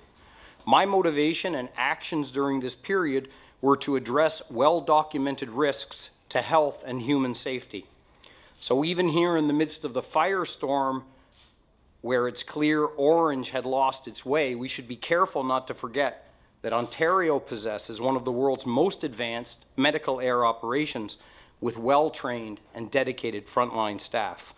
It's a very expensive and essential element of our healthcare system that tries to help equalize access to care across a wildly large and difficult terrain. Because we have this medical air transport capacity well integrated into our trauma system, it saves many lives. But the real trauma is the abuse of public trust perpetuated upon the people of Ontario. I take responsibility for not having detected this risk and therefore entrusting Dr. Mazza to build an integrated medical air transport system. Aided and abetted by a strongly credentialed board, stories have emerged of a hazy shell game seemingly designed to leverage a public asset for personal gain. If true, this was an abuse of the public trust, and I regret not having had the prescience to eliminate such risks. The better news is that we have a good system that is well resourced, and with the steps taken by Minister Matthews, a sense of purpose has been restored. I can't tell you who missed their opportunity to act at first evidence that Ornge had gone rogue. The performance agreement had multiple mechanisms where the contract could be cancelled. This, coupled with the ministry role as paymaster, represents ample power to bring a rogue entity to heel. The report commissioned in 2008 by the Ministries of Health and Finance and prepared by Meyers Norris Penny LLP, a report which should be made public, provided a series of recommendations to the ministry. From what I am told, the ministry's response to this 100-plus page report may have been lacking. When I left the ministry, I was not aware of any accusations, and from the moment I left there, about 1,400 days ago, I have paid Ornge little mind. Had I known that there were swirls of scandal, I most certainly would not have taken the risk of bringing an external visitor to Ornge as I did last fall. When I became minister in 2003, we did not have an integrated system, despite repeated calls from coroner's inquests and the media alike. Additionally, a 2003 accreditation review conducted by the independent U.S.-based Commission of Accreditation of Medical Transport Systems recommended a system overhaul. A particular concern they cited was the absence of a clear line of authority amongst the dispatch center, the base hospital, and air ambulance operators responsible for service. We fixed that. Other coroner's reports spoke to the risks being posed by the ministry's inability to validate the safety and maintenance of the fleet of private aircraft then contracted to do medical air transport. Today, Ontario has the most modern and efficient fleet just about anywhere. At crucial critical care transition points, we implemented Ornge staffed land ambulances to enhance the continuity of care for critically ill patients, thus improving their survival prospects while saving money for several municipal land ambulance services. Sometimes that transfer across ferries, through traffic, or over long distances can take a long time. And when a situation is critical, minutes really, really matter. This is especially true in the north. I want to provide just one example where a service enhancement was implemented in order to save lives, to buy some of those crucial minutes.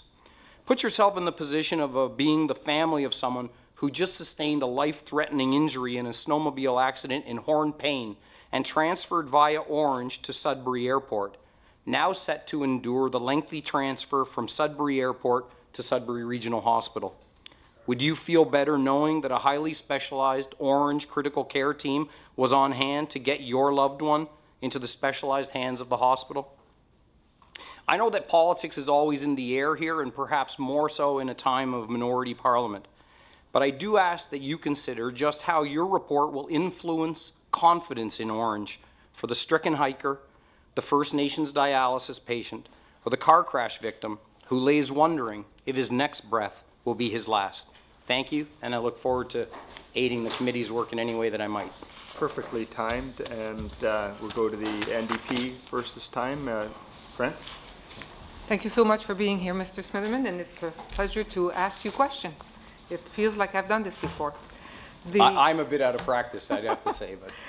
Um, It's, it's rather interesting that right now we have Minister Matthews as Minister of Health, and on a number of occasions, it feels like she's throwing you under the bus. It feels like she's blaming you for a huge part of the scandal we're dealing with right now, from your failure to have an RFP when this was first contracted out, from your failure to put together an accountability agreement that gives the Ministry of Health the leverage that they need. My question, my first question will be, if you had stayed as Minister of Health, do you figure this scandal would have happened? Well, there, there's three or four questions rolled up there, and I, I, I look forward to having a chance to answer uh, to answer each of them. Uh, uh, personally, um, uh, I said in my comments that I really think it would be important to get into the public domain this report that has been prepared uh, by the uh, by an outside consultant because it was a crucial overview to the period of time that I was the minister. When I left the Ministry of Health in 2008 and moved to another ministry, Dr. Mazza was making $298,000, was reporting that and complying with the Sunshine List and the like. And the activities that went on subsequently were activities that were not to my knowledge. Um, and I cannot imagine a circumstance where I would have tolerated a situation where Dr. Mazza ended up making $1.4 million and where the organization lost its focus. But the ministry bears a lot of responsibility for this because it is in the, in, in the ministry which had eight or 9,000 employees where on a day-to-day -day basis there are people that are paid to wake up and to focus on it. And the real question I have is at what point did they decide that they were dealing with what I describe as a rogue entity, and what steps did they take at that time to bring it to heel? It's my suspicion, but I'm only speculating because it's beyond 2008 that this was even in advance of the time of Minister Matthews' arrival at the Ministry of Health. Hmm. Interesting. If we go back to 2007, uh, we'll be testing your memory there, but you were still Minister of Health at the time. Uh, you authorized a one-time $2.9 million funding bumps to Ornge. And uh, would you have done this if you hadn't known how much Mr. Mazza was being paid? If you didn't have information about salaries, would you ever agree to increasing a budget? Well, at the time we knew how much Dr. Mazza was being being paid. I don't it was somewhat less than $298,000 and it was in full compliance with the Sunshine List. That, that question actually is in a sense further evidence that at that time, to the best of any knowledge that I have, there were no uh, red flags being signaled. In the same time frame and context, the provincial auditor twice reviewed Ornge. Public Accounts, Accounts Committee had their own hearing, I think in 2006, and then just subsequent to that, this external report was uh, this re external report was ordered. To the very best of my knowledge, in that time frame, Ornge was operating operating well. Through the report that the provincial auditor has provided, we learned that the ministry did not have a grasp on the finances there, and I think that that came as a surprise to all of us. That, that, that uh, uh, adjustment in uh, their budget in, the, in that fiscal year, I don't have access to the ministry files to know what the motivation and justification for that was, but there were three things happening that may have been associated with it the implementation of new critical care ambulances, like the ones, uh, the one that I mentioned, which can be in service in a place like Sudbury. Ornge was responsible at that time for EMAT, the medical, uh, the mobile, uh, the uh, mobile hospital, and the implementation of a new angioplasty program at Thunder Bay Regional Hospital was forcing us to deploy an additional aircraft in Thunder Bay as backup in case any cardiac patient required transfer to Duluth.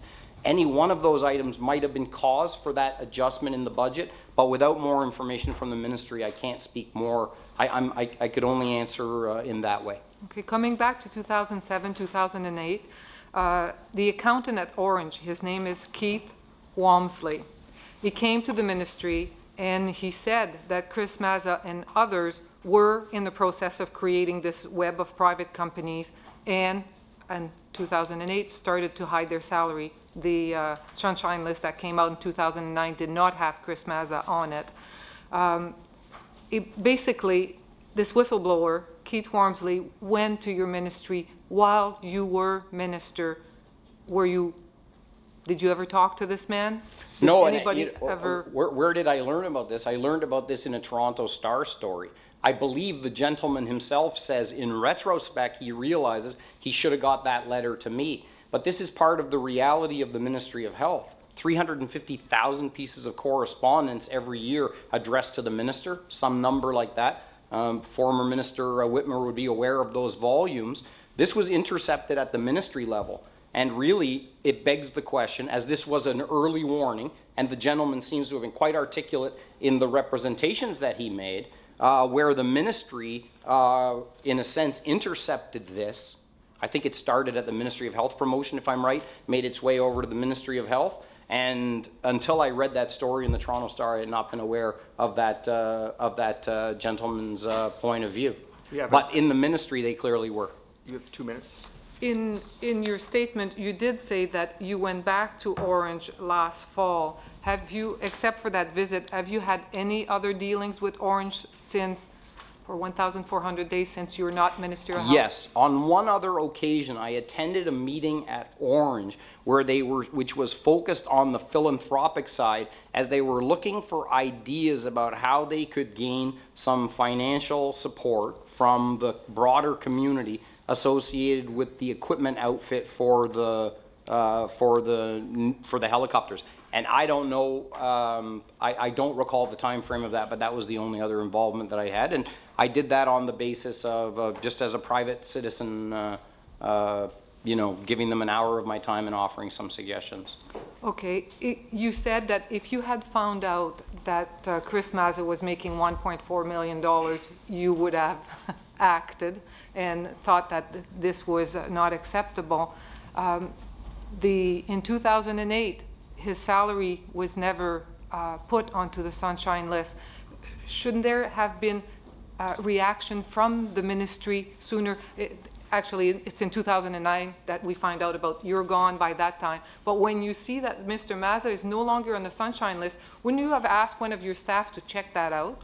Th that's straight. So time frame, the sunshine list is produced in the final days of fiscal 2007, 2008 within two or three months I leave the ministry, the sunshine list for the subsequent year would be prepared later in the year. Mm -hmm. But I do think that that is a particularly egregious action that should have sent a warning signal across somebody's desk. And I really think for me, increasingly, I ask myself, at what point did the people in the ministry who on a day-to-day -day basis wake up with the responsibility to focus on matters related to ambulance, what was their reaction to that?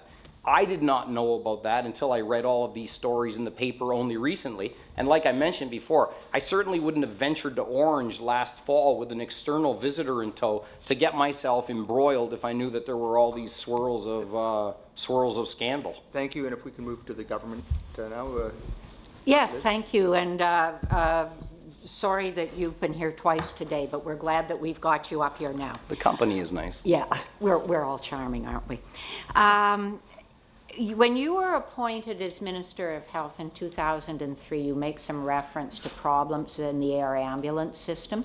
Could you describe those a little bit more? Well- Like, what were you told when you Sure. got the briefing? It, it really, it wasn't, it, it, it was that coroner's reports and other independent bodies and the media over quite a lengthy period of time had come to the conclusion that or, or that uh, air ambulance as we knew it was too fragmented. And to their credit, I would say, the previous government, I believe it was my direct predecessor, Tony Clement, had brought the eight ambulances together in a base hospital program. Prior to that, we had the circumstances of the ministry running dispatch and doing some work on the private on the relationship with private aircraft contractors and we had eight different helicopters all in the budgets of eight different hospitals around Ontario. Minister Clement took the step to consolidate all of those aircraft under one base hospital program at Sunnybrook Hospital with Dr. Mazza as the medical director. And that, I think, was a good step in the right direction. But you can imagine all of the stories that have been written over time about the circumstance where dispatch and operations are not in the same organization. Our intentions in moving forward were to create an integrated system. And despite all of the failings that we know about, which were mostly about, seemingly about trying to leverage this now integrated system, I believe that the system that we have in Ontario is a very good one, is a better protection of human health and safety than it was when 2003 when I became minister, and it's my fervent hope that this can be restored as a sense of pride and confidence for the people of Ontario. So how did, and, and it's interesting because I was on public accounts, I think, when the auditor's previous report came in and he was looking not at Ornge but at the pre-existing system. And I think the or- auditor's findings in that previous report, the auditor is nodding at me, um, that he described many of the same problems that you're describing now. Um, so then, how did we get from the identification of the problems to the creation of, of what eventually became Sure. Ornge? It Well- was initially the Ontario Air Ambulance System. I hope someone will come back to this question of, of sole sourcing versus RFP because those that insist on the idea that there should have, an R, should have been an RFP are proponents for the privatization of that service.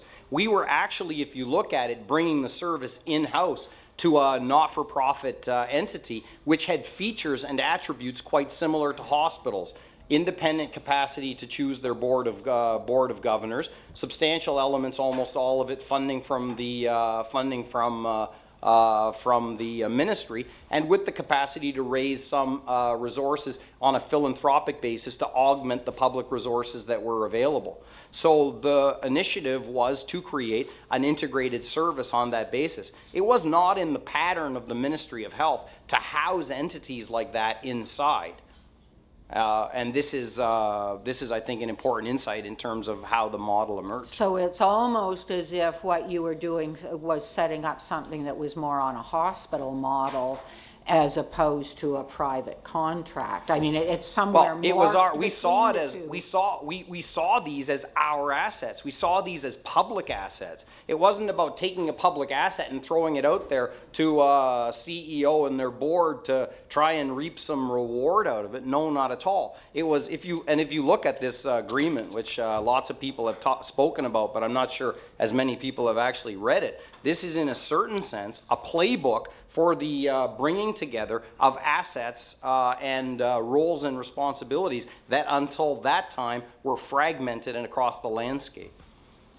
And um, so when, when I think about the legislation that's now been tabled, uh, where the minister is suggesting that some of the powers that she has with respect to hospital boards and, re- and importing some of the language that's in the Hospital Act into the Air Ambulance Act, that's actually reasonably consistent with the original approach that you were Well, taking she, to it. she, she, obviously, she's in a situation where she's operating retrospectively, and she's in a situation where uh, this pro- perhaps where the same lawyers that advised me and drafted this are now advising uh, her and drafting that.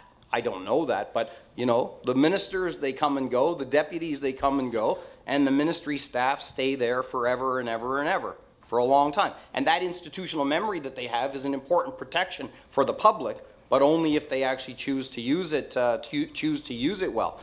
I have no doubt that there's an opportunity to look retrospectively and say, well, we could have had that or we could have had that. But I don't, uh, from a review of this and from knowing that the ministry was practically the whole paymaster for that organization, I don't draw the conclusion that the ministry's hands were tied in bringing this, what I refer to as rogue entity, to heel. Thank you. You have uh, two minutes left. Oh, I've got two minutes left.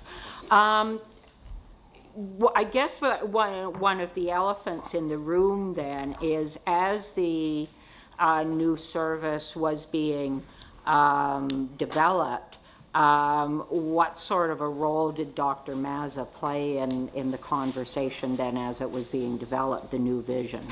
Well, uh, undoubtedly, uh, uh, and this is where I've this is where I've said candidly is that the responsibility that I bear is that this individual, and again, like some people have tried to suggest that I invented him. Uh, of course, he was running the base. He was in Ontario the most knowledge individual with respect to the operation of medical air transport that we had. So when you referred to uh, Minister Clement setting up an air base, it was him that actually had the air hospital Dr. Mazza had been running the one helicopter as the medical director from Sunnybrook Hospital since 1996. So it was natural. It was it was natural that he was there in the in the pecking order, and that he should be relied upon in helping to uh, in helping to bring a uh, to bring a model forward. Again, I go back to the question is that if you look at it from the time that I left, to the very best of my knowledge, uh, the, the amalgamation of services, the, cre- the elimination of fragmentation and the creation of an integrated organization had been the focus. And I take responsibility for not having seen the risk that people might have ulterior motive. But then I ask the question is, the people that wake up every single day in the Ministry of Health, when did they first get an inkling that something was going awry, and what steps did they take then? And that's an area where I don't have as much information as I would like to have. Thank you very much. Thank you, Mr. Klees. Thank you. Mr. Smitherman, thank you. And uh, first, let me thank you uh, for the statement that you made uh, that uh, you regret not having had the prescience to see what was coming. Uh, You're actually the first person uh, to take responsibility. And uh, I I just want to thank you for that.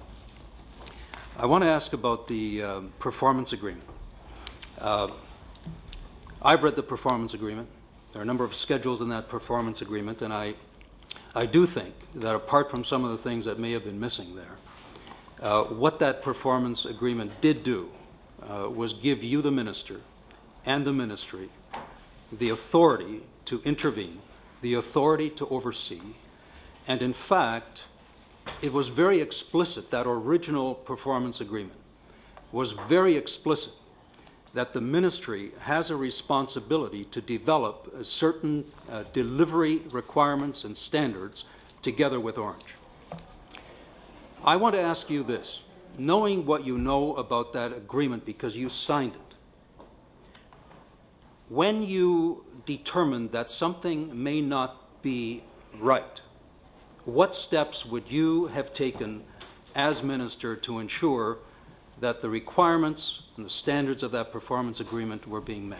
Well, the first part that's important here is, like I said, the context that I can speak to, to most knowledgeably is 2003 to 2008, and in that time frame, I was not a, made aware by the ministry or outside interest that something had gone awry there or that the thing was off the rail or gone rogue, to use the language that I used. But I do personally, and you know, you, you, you, you, you've enjoyed the privilege of serving as a minister, uh, as have I, is that it seems to me that the combination of powers, some power is that which is given by way of legislation or by a signed agreement. Much of the power that a minister can exercise is the power of persuasion, of the use of a bully pulpit, of embarrassment as required. And the third bit, and this is what I refer to in a Toronto Star article or a Toronto Star interview as kind of this sugar daddy role. If I'm in a circumstance as a government minister where my ministry is funding the lion's share of an entity, I feel, notwithstanding whatever deficiencies retrospectively a lawyer might have found, I've got a good bit of uh, capacity to bring a wayward organization to heel. And I ask myself the question, what went on? And that's why this report, which has not been public, I think it's an important one. And it, it, it may, in fact, say things that are not helpful to me in the grand scheme of things, but it was a report that look, took a hard look at the early days of operation of Ornge, and I wonder where that went when it got to the ministry. In the final analysis, had you been the minister, you would have found a way to intervene and to bring this rogue organization to heel. Only in the circumstance, the only way that, I, of, of course, you know. Thank th- you. Thank you. Of, of, Thank you. uh, that- that's, I'd like to move on to another Okay, but very with, res- important with respect, that, All right, with Mr. respect, that wasn't my complete, Excuse me, that Mr. wasn't my complete answer. But I would say this, I would say, I would say this respectfully to the member, is y- yes, of course, any one of us wants to say that we would have done that. But I was there with four and a half years of institutional memory. Four and a half years. So of course, on the day after four and a half years, I had all that institutional memory to apply. But then another minister came, and yet another one before the current, and, and then the current minister. And my only question is this, is you can only act if you have the information. Who had the information, and what did they do with it is a question which I don't think, at least I personally, don't know enough about. I know people in the ministry had information, when did they actually send the signal that the entity had gone awry? Thank you. I'd like to move forward to uh, early November 2007. At that point in time, the Ministry of Finance made a very specific effort to bring the financials of Ornge under the Ministry of Finance into its consolidated statement. When the Ministry of Finance took that initiative, I understand that Ornge, through one Alfred Apps, with Don Guy's assistance, put forward the case that those financials should not be included for very specific reasons. I also understand that that message was sent to Mr. Jamison in the Premier's office via Jennifer Tracy. Now, I happen to believe that this represented a turning point because had the financials of Ornge been included under the Ministry of Finance, the appropriate oversight would have been there even if the Ministry of Health failed.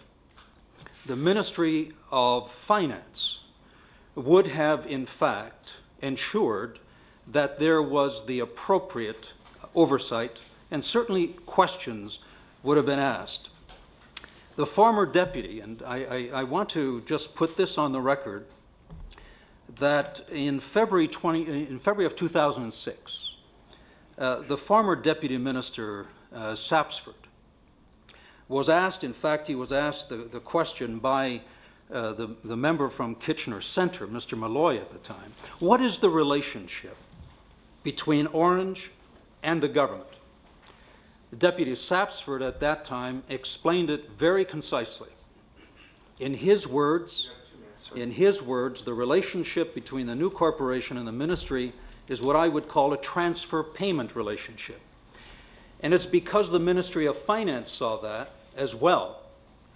They wanted to incorporate those financials into the Ministry of Finance. Can you tell me what pressure was brought to bear through Mr. Guy and through Mr. Apps to ensure that that consolidation did not take place? The matter that, firstly, I any of them, I, I've never heard that, uh, I've never heard that before. So I, I can't, uh, I can't shed any light on that. But I would say that for all of that, to my mind, it does not separate the Ministry of Health and the staff of the Ministry of Health from their oversight responsibilities. Like, I, I take your point that that might have been an added layer, and maybe that is an early signal, but it's not a circumstance that I have any uh, information about. Assure, I assure you, we don't want to let anyone off the hook. Uh, The primary responsibility clearly was the Minister of Health and the Ministry of Health. My point simply is that based on the information we have, is that there was political interference that actually allowed Mr. Mazza and those at Ornge who wanted to uh, leverage, as you put it in your own words, public funds for their personal means. It was that political interference that actually brought down uh, the, the, the barriers that would have prevented that. And I was just hoping that you might be able to shed some light on that. You say you knew nothing about it. Uh, Perhaps Mr. Jamison can help us when we talk to him a little bit later. Thank you very much, uh, and thank you for coming and uh, being so patient That's this it? morning. Yeah, Yep, Time flies when you're having fun. Thanks for the, thank you so much for the, uh, yes, thank you for the chance. thanks for coming before us. Yes, Mr. Smitherman, if he would be willing, i- if there is some other information that we would like to follow up with him on, would he be willing to come back uh, and spend some more time with us? Well, as I understand it, if this committee sends out a message that it wants to hear from me again, it's not a matter of whether I'm willing or not. But of course, uh, but of course, uh, uh, spending the day uh, here with all of you today has uh, refreshed my interest in Queens Park. So if it, uh, if it aids the, if it aids the committee in their effort, then uh, most certainly. thank you very much, Thank you. appreciate that. Order while we're waiting for the next uh, witness to come in. I don't know whether we're waiting, we're, we're ready. Oh, Okay, we're well, this will just be, person. because I think the next, anyway, uh, Mr. um, Mr. Klees made reference to a, um, um, a meeting and a, and a document between one uh, Apps and Stevenson, and uh, then he said, um, uh, Stevenson, then he said, uh, implied that he's going to raise those matters with uh, Mr. S- uh, Stevenson, Stevie? Yes. Um, Jamison, I'm sorry. Um, which I expect is about to happen now. So I think we should have that document in front of us. No reference to a document. I have my personal notes. Okay. uh, And Okay, Zimmer let's, has let's no move on access to to our that. next presenter. Then we have from the Office of the Premier, uh, Jamison Steeve, Principal Secretary to the Premier, who is here for the next uh, half hour or so. You have, you have uh, five minutes to make a presentation, and then there'll be eight minutes amongst the three uh, parties questioning you. And and you did, did you receive the witness appearing before Standing Committee on Public Accounts information? I did, I received it last night. Thank, thank you very much. Not at all. And our clerk will swear you in. Just want to raise your hand. Uh, Mr. Steeve, do you solemnly affirm that the evidence you shall give to this committee touching the subject of the present inquiry shall be the truth, the whole truth, and nothing but the truth? I do. Thank you. Please go ahead. Thank you. My name is Jamison Steeve. I am the Principal Secretary to Premier Dalton McGuinty. I want to thank you for the opportunity to- to appear before this committee. It is my understanding that this committee has been struck to consider the special report of the Auditor General on Ornge. I thought it would be helpful to this committee by providing a brief history of my employment and a quick outline of my roles and responsibilities in government in my opening statement. I graduated university with an honors Bachelor of Arts, a Bachelor of Education, and a Bachelor of Laws. I began my professional life as a lawyer in the litigation department at Fasken Martineau. I practiced law there from 2001 until December 2003. In January 2004, I joined the office of Minister Jim Bradley, then Minister of Tourism and Recreation, as his legislative assistant. I held that position until September 2004. In that role, I was primarily responsible for preparing, for preparing Minister Bradley for question period. From September 2004 until October 2007, I was the Health Policy Advisor in the Premier's office. During that time, I also held the Health Promotion and Seniors Policy portfolios. In my role as Policy Advisor, I focused on broad policy development and policy decisions in the area of health. In particular, I focused on key health results like the reduction of surgical wait times and improving primary care. My work over those three years also included involvement in the development of legislation like the Lynn Bill and drug reform. Following the election in 2007 and the swearing in of the new cabinet, I was hired as Chief of Staff to Minister George Smitherman, uh, Minister of Health and Long-Term Care. I held that position from November of 2007 until June of 2008. During that time, I was responsible for the day-to-day administration of the Minister's Office, focusing our efforts on reducing emergency room wait times, lending shape to the government's negotiations with doctors, and working with the Minister and the Ministry to finalize a budget for the Ministry of Health. During my time as Chief of Staff, I had a staff of approximately 30 people. Since June 2008, I have served as the Principal Secretary to the Premier. In that role, I am primarily responsible for the development of public policy government-wide. I work with Cabinet, Caucus, and the Public Service to develop and implement the government's policy and legislative agenda. In addition, have an active oversight role on particular strategic documents like the budget, the fall economic statement, and any throne speeches. I have a staff that fluctuates between six to eight people who have carriage of several policy files. Based on the questions I have seen in the House, it is my understanding that I am appearing before this committee primarily because I was one of the recipients of the letter addressed to Minister Deb Matthews from the chair of the board at Ornge on January 19th, 2011. I'm happy to speak to that issue or any other questions that you may have. From someone fiercely interested in and responsible for the development of good public policy, I think there are many important lessons we can learn from the situation at Ornge. This committee is looking into what happened at Ornge because the Auditor General's investigation revealed some significant areas of concern. Although there were a number of accountability mechanisms in place with respect to Ornge, it is clear that they did not work. As Minister Matthews has stated, we as a government could have and should have done a better job. I believe that the minister has taken strong steps to remediate the situation at Ornge and move the organization forward so that it serves the needs of Ontario patients.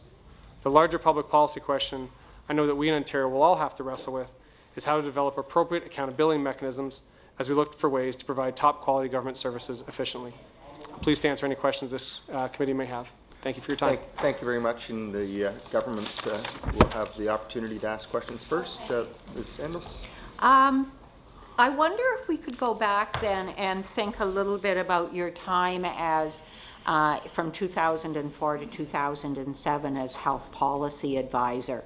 Um, can you describe a little bit more about your role then, and I guess whether or not you would have intersected with Ornge in any significant way during that point? Certainly. Um, my role at that time uh, for any health policy advisor in the Premier's office would be to uh, help develop the policies that are coming through committees and into Cabinet and shepherding those issues as they go through our processes of uh, being considered by Cabinet and caucus. Um, I would say a lot, a lot of my interactions uh, on policy files would also have been around key health results. Um, we would have our health results team involving briefing the Premier and preparing him for uh, how we were achieving things with respect to uh, surgical wait times, uh, primary care reform, namely 150 new family health teams, uh, the acceleration of medical school spaces and whatnot. Uh, my interaction with Ornge, the file, would have primarily been through the development of the legislation. Um, I didn't have direct involvement in the creation of the accountability agreement or the performance agreement that's been the subject of uh, much of the conversation both here and in the House, um, as that's something that would go to Treasury Board and deals more appropriately with accountabilities and financials. I would deal more with those items at that time uh, that dealt with public policy, uh, that went through policy committees and then into cabinet. Um, during my time from 04 to 07, um, I believe I, I met with Ornge, I believe once, basically as the organization was being set up and getting a sense of uh, of uh, what services they were going to be providing. So it would have been at the policy level as to how, as you say, what services would Ornge uh, be delivering? What would be the change in delivery from current services? It was at that broad policy level. At a broad the, policy level within the health sphere, um, as opposed to my current role, which would have more of the broad policy across government. But no, uh, there is uh, very little operational aspect uh, related to the health policy role. So, and if we can go on then to your current role as principal secretary to the premier, um, are you, as principal secretary to the premier, and I think you've just answered this question, but let's be specific, do you get involved in operational issues at the ministries in your role as principal secretary? Typically not. Um, what I would say is uh, my involvement is more on the basis of making sure that we're driving forward the, the government's agenda and working with caucus, cabinet, uh, and the premier. Um, there are there are operational elements that are going to come forward in any particular policy submissions, um, the delivery of a tuition grant, those types of things. But on the day-to-day uh, aspects of how something is delivered by way of a public good from from a ministry, no, I would not uh, get involved in those matters. So the issue, the example you give of, a tu- of the tuition grant, it would not be that you're, uh, that you're uh, con- spending a lot of time on the operational issues related to an existing file or initiative.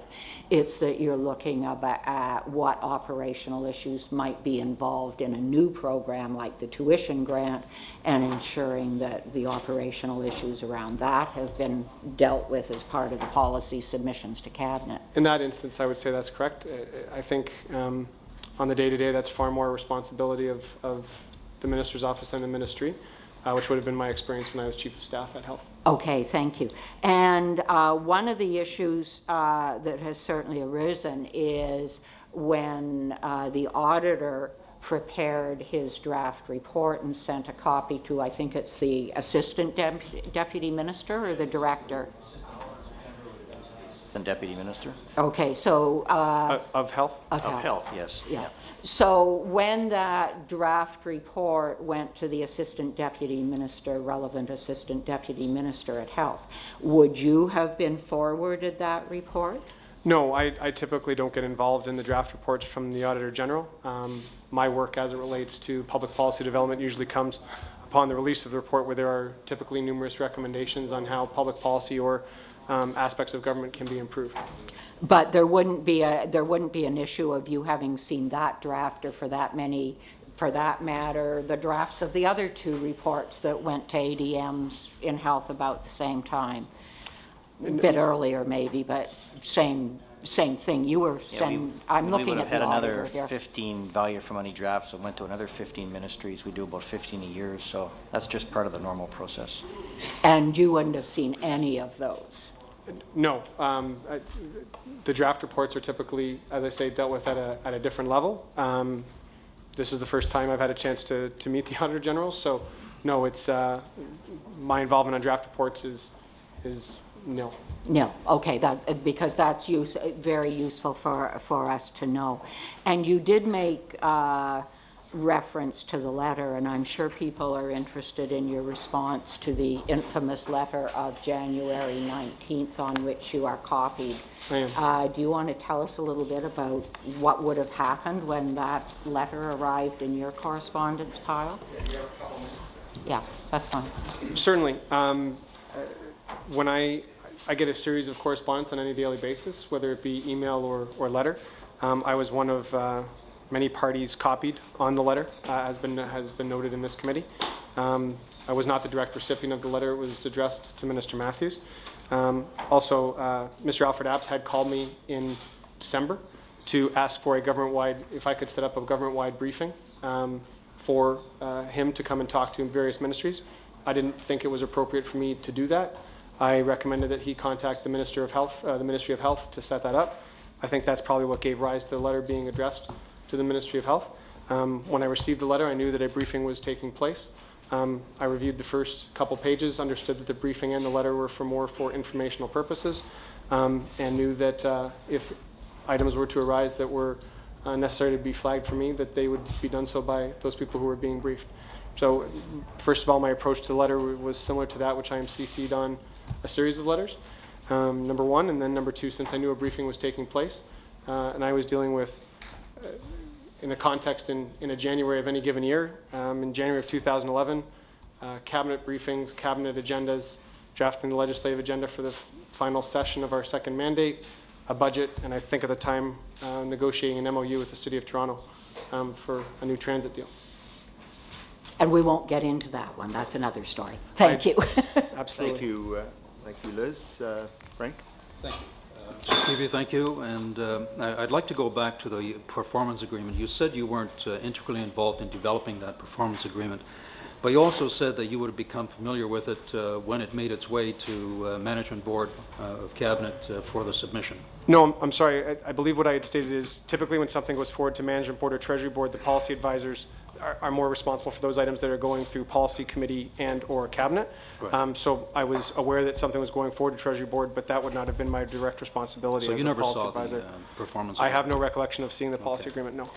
Uh, I would like to uh, follow up uh, with you um, on the issue I raised with uh, Mr. uh, Smitherman and uh, get your perspective on this.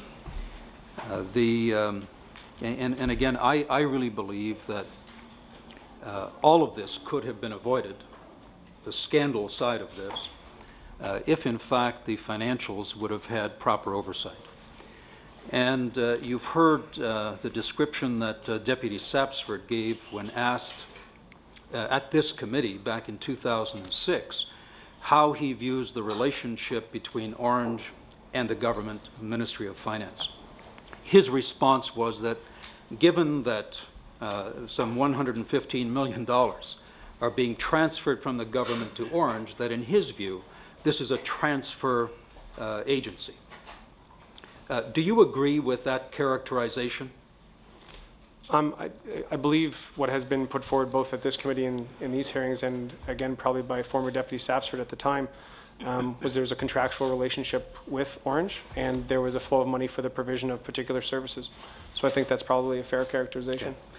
Based on that, it was the Ministry of Finance uh, who saw that arrangement, uh, looked at what was happening uh, early on in the game in terms of how the financials were being organized at Ornge, and they made the approach, as I understand it, to bring those financials uh, under the auspices of the Ministry of Finance into its consolidated statements, as it does with every other transfer agency. The information that I have is that Ornge strongly objected to that.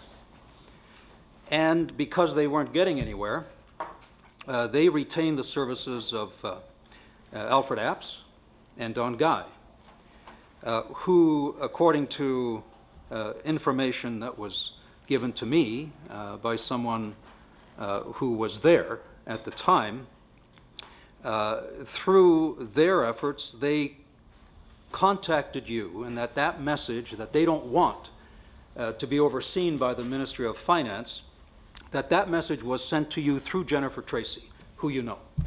And I, I assume that you were working with her uh, in the Premier's office before she went to Ornge, right? She had worked um, uh, in our communications department in the Premier's office, yes. What do you recall about that uh, message that was sent to you? Um, Upon hearing you mention it in this committee, is, I have no recollection of any interaction. Um, Jennifer Tracy would call me on, on occasion, far more uh, on communications aspects as they related to Ornge.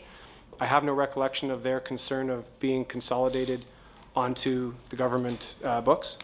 Um, And even at that, I, I have no recollection of moving on any information that would keep them off of the government books.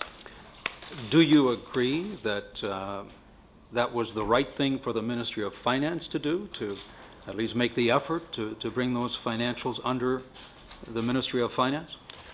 That would be a question for the Ministry of Finance and what they were trying to do from a financial perspective.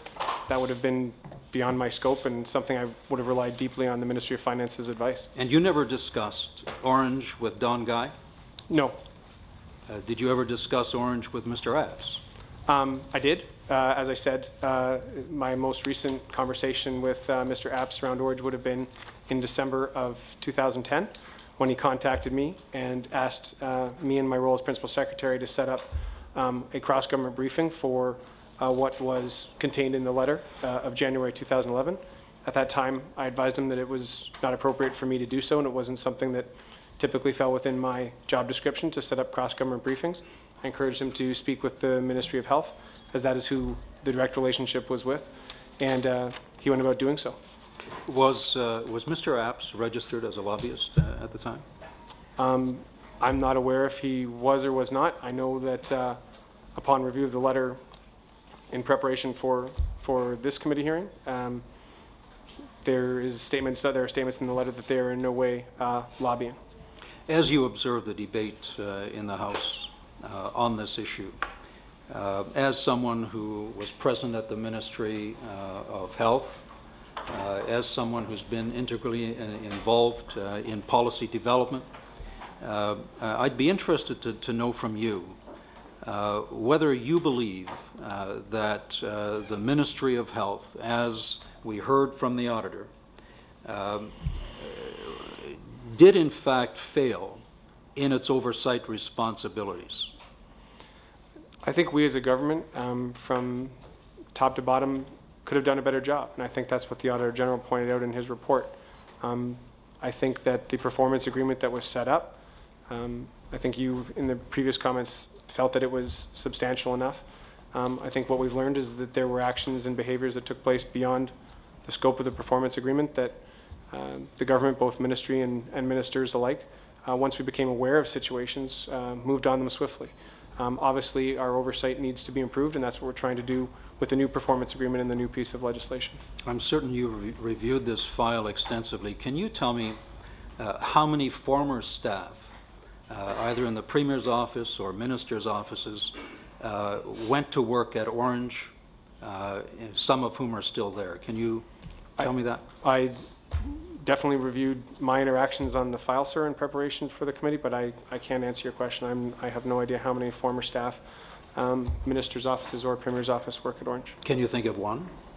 Uh, you named one. Uh, Jennifer Tracy is a former Premier's office staff Okay. uh, who I believe still works at Ornge. Uh, You can think of no one else? No, uh, there was a former staffer. Thank you. Uh, there was a former staffer, uh, Scott Level, um, who. And what was his uh, role in the ministry before? Um, he worked in the minister's office, uh, not the ministry. He was uh, stakeholder relations uh, under Minister Smitherman, and I'm not sure what his position at Ornge would have been. Uh, No one else? Um, not to my knowledge. Interesting. Thank you very much. Not at all. Thank you, and thank you uh, for coming before the committee today. I'm sorry, I and think- uh, we have the NDP now to go. Go ahead. uh, Uh, Good, good afternoon. Good afternoon. Um, So just wanted to ask some question about your oversight. Um, You helped with the initial setup of Ornge, is that correct? No, I, I would be involved in the policy development that led to the initial legislation Okay. around Ornge, but I, I think it would be an extension of my role to say that I helped in the initial uh, formation of Ornge. Sure, so you, you, you were involved in the policy development, but not the actual implementation of the, of the Ornge um, organization? That's correct. Okay. Um, In the policy setup, what was your involvement with the policy setup? Um, my involvement would have been uh, dealing with the policy as it came through committee and to cabinet, um, and uh, providing information to the premier as it came through. Specifically with respect to Ornge, what was your input in terms of Ornge policy development? Um, the role of a policy advisor in the premier's office versus that of uh, uh, in a minister's office is more of an oversight role. Um, the direct creation of materials would come more from the ministry and the minister's office level. So mine would be more of a commentary and/or input at a higher level rather than the creation of it uh, at the ground level. So what was your input then, on a high level, with regards to Ornge?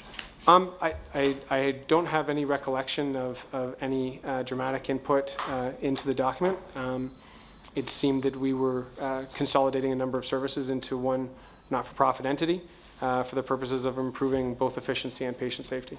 Okay, and did you have any input then in terms of how that, uh, the care was to be delivered, or the way it was to be organized? No. Um, When you were, uh, when this was set up, you were chief of staff to uh, Mr. Smitherman, is that correct? No, that's not correct. Oh, sorry, Uh, so- I, I was chief of staff um, from November of 2007 Yes. until June of 2008. I see. And I believe the time frame that you're talking about is in the 2005-2006 era. That's right. Um, In terms of oversight, um, do you, are there any policy considerations in terms of how one should oversee an organization such as Ornge? I, I think many of those policy considerations are, are addressed in, uh, in the Auditor General's report. I think you're looking at issues of uh, service provision, um, the expenditure of the public dollar, um, as well as uh, um, in healthcare in particular, the outcomes that are, that are achieved by way of the service. Were any of these, uh, these considerations, uh, to your knowledge, were they ever executed in terms of, was there any request made um, to follow up with Ornge in terms of their um, patient care or their salary disclosures or any sort of uh, demands, or any demands made that you're aware of? Um, On, based on the roles that I've held in government since uh, I've worked here, those would not be issues and items that would come across my desk, so I, I I can't speak to the question. Um, At any point in time, did uh, information regarding salary disclosure or the lack of salary disclosure with respect to Ornge come across your desk, just that issue in general? Um, No, uh, when I was uh, chief of staff, I believe, uh, was, I I stopped in 2008, as I said, and I believe that was based on the information that's come forward to this committee the last year that uh, Dr. Maz was on the Sunshine List. And after that, in my role of principal secretary, um, the inclusion or exclusion of folks on the, on the sunshine list isn't necessarily something that would come across my desk. Uh, When did this issue uh, reach the Premier's office in general, the, the Ornge scandal? Um, I would say probably post-election in 2011, when we had the issues and, and the stories, uh, both in the Toronto Star and the questions being raised in the House, um, more and more alive to the issue. Obviously, we'd had the Auditor General's uh, review taking place, I believe, as, I believe as of late of uh, 2010, um, as items started to become uh, more clear as possible malfeasance happening at Ornge. I think that uh, that's when it became aware to the Premier's office in general. Before the scandal broke in the news, um, just to give you one more opportunity, was there any uh, information or any inkling uh, of anything going on at Ornge that crossed the Premier's, uh, that crossed your desk, uh, that would have been in the Premier's office before what you've indicated the post-election period after October 6th? Um, in my time on both the health file and then as chief of staff, uh, there was there was nothing that had come to my attention about uh, the service levels or um, anything happening at Ornge that would give rise to concern. Um, in my time as principal secretary going forward until uh, post-election, um, I believe there were some questions in the House raised uh, by Mr. Klees in, in April uh, of 2011. Um, so did that come across my desk? Not necessarily, but I think obviously when something's raised in the House, uh, it's it becomes uh, an issue definitely for the minister, if not folks who deal with legislative affairs in the Premier's office. Okay, I just have a final question, then my colleague will take on. Um, in 2010, this issue was raised by Howard Hampton in committee in a public uh, standing or standing public accounts committee. Um, were you aware of the question being raised about salary disclosure, uh, and was there anything that your office did? Um, n- that was not made. I was not made aware of the questions being raised in estimates. Um, that's typically something that would be dealt with more um, by legislative affairs and issues management. Thank you. Thank you. You said that Mr. Apps called you in December of 2010. Correct. Uh, Any idea why he would call you? Certainly. Um, I would say for two reasons. Uh, number one, my role is one that um, often gets those types of requests um, for meetings with the Premier, um, uh, for briefings, who should they contact within government, number one. And number two, as I stated in my opening statement, I had practiced law at Fasken Martineau. Um, so while I didn't practice with Mr. Apps, I would have been uh, a known entity to him as someone who was a junior associate there for almost two years. Did he leave you with any impression whatsoever that he was using those previous knowledge and influence to try to uh, gain what he wanted from you? two aspects. Uh, number one, I, I, I think I take exception to the notion of previous uh, influence. Um, he, he would know me uh, from my interactions at the law firm, but no, it was. Uh, he thought that it was a good place to start. Was my sense um, in an effort to try to brief across government um, on a series of, of issues, and I advised him that talking to the Minister of Health and the Ministry of Health was the best way to go. When he talked to you, did he make any uh, statement regarding his involvement with the Liberal Party? No. He didn't introduce himself as to what position he had within the Liberal Party? No. Do you know? Um, at the time, I believe he was president of the Federal Liberal Party. You knew this when he called you? Yes. Okay. The, um, you were in uh, your present position when M- Minister David Caplan was asked to resign. When you were uh, there uh, with the Premier, did you ever ask the Premier to let Mr. Caplan go? No, I wouldn't have that type of authority or influence. At the end of the day, that's a decision of, of the Premier. So Mr. Caplan uh, found himself embroiled in a scandal not much different than what we're going through right now, and uh, the Premier asked him to resign, and you knew nothing about this? No, I, I, I knew that the process was underway, but the question previously was if I had advised the Premier to ask for Minister Caplan's resignation, and that was not advice that I gave. A minute left. Okay, and um, have you spoken to the Premier about Ornge? I have spoken to the Premier about Ornge, yes, uh, primarily um, in my role as Principal Secretary in the development of policy going forward, particularly uh, in response to the Auditor General's report um, and the drafting of the, uh, the next performance agreement. um, and the drafting of the legislation would be the primary way that I would speak with uh, the Premier about Ornge. When was the first time you talked to the Premier about Ornge? Two ways. Uh, Number one would have been in my interactions back in 2005 and 2006 in the drafting of the legislation and um, the creation of the policies that were going through caucus, sorry, through uh, committee and through the cabinet. Um, And uh, speaking to the issues that are central to the discussion here at this committee. Um, The first time I would have spoken with the Premier probably would have been um, in December or January uh, of 2011, 2012. After Thank- Mr. thank Apps very called, much. did you We're- make any calls or email? Thank you, uh, we're, we're out of time, I'm afraid. That's right. Okay, go ahead with that. Uh, After you talked to Mr. Apps, did you send an email? Did you make a phone call? Did you do any follow-up regarding his request? I contacted Mary Lowe, who is the Chief of Staff at the Ministry of Health, and advised her that I thought she would be the best person to arrange uh, the briefings that Mr. Apps was looking for. Okay. I, I called her? You called? Yes. Okay, Thank you very much. Thank you. Thank you for coming in today. Thank you. James? The next, uh, just while we're getting organized for the next witness, just a, a point of order, which is really in the nature of asking some advice from uh, counsel, uh, because I expect this will come up uh, from time to time.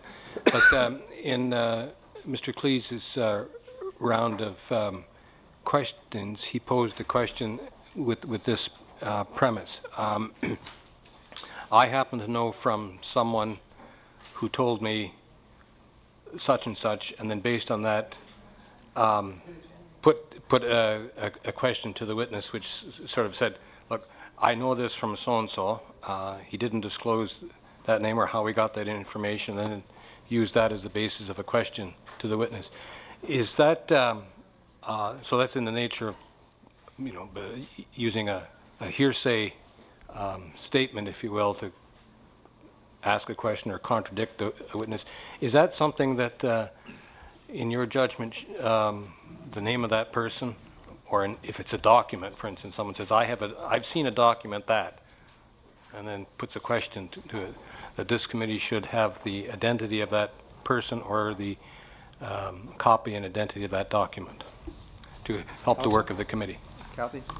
Yeah, And uh, does the committee want me to provide my, my response at, at the moment in public, or do you want me to send you a privileged memo on that issue? Um, w- w- Well, I'm more concerned uh, to get the answer so that um, if if it, uh, and I expect it may well come up in the future so that we can deal with it then. So, uh, I mean, Mr. Klees has already asked his uh, question, set it up like that, so what's the best way to deal with this? You know, to ensure that uh, we're being fair to everybody and all the members of this committee have the background documents that any of us, in either side of the House um, are basing our approaches on.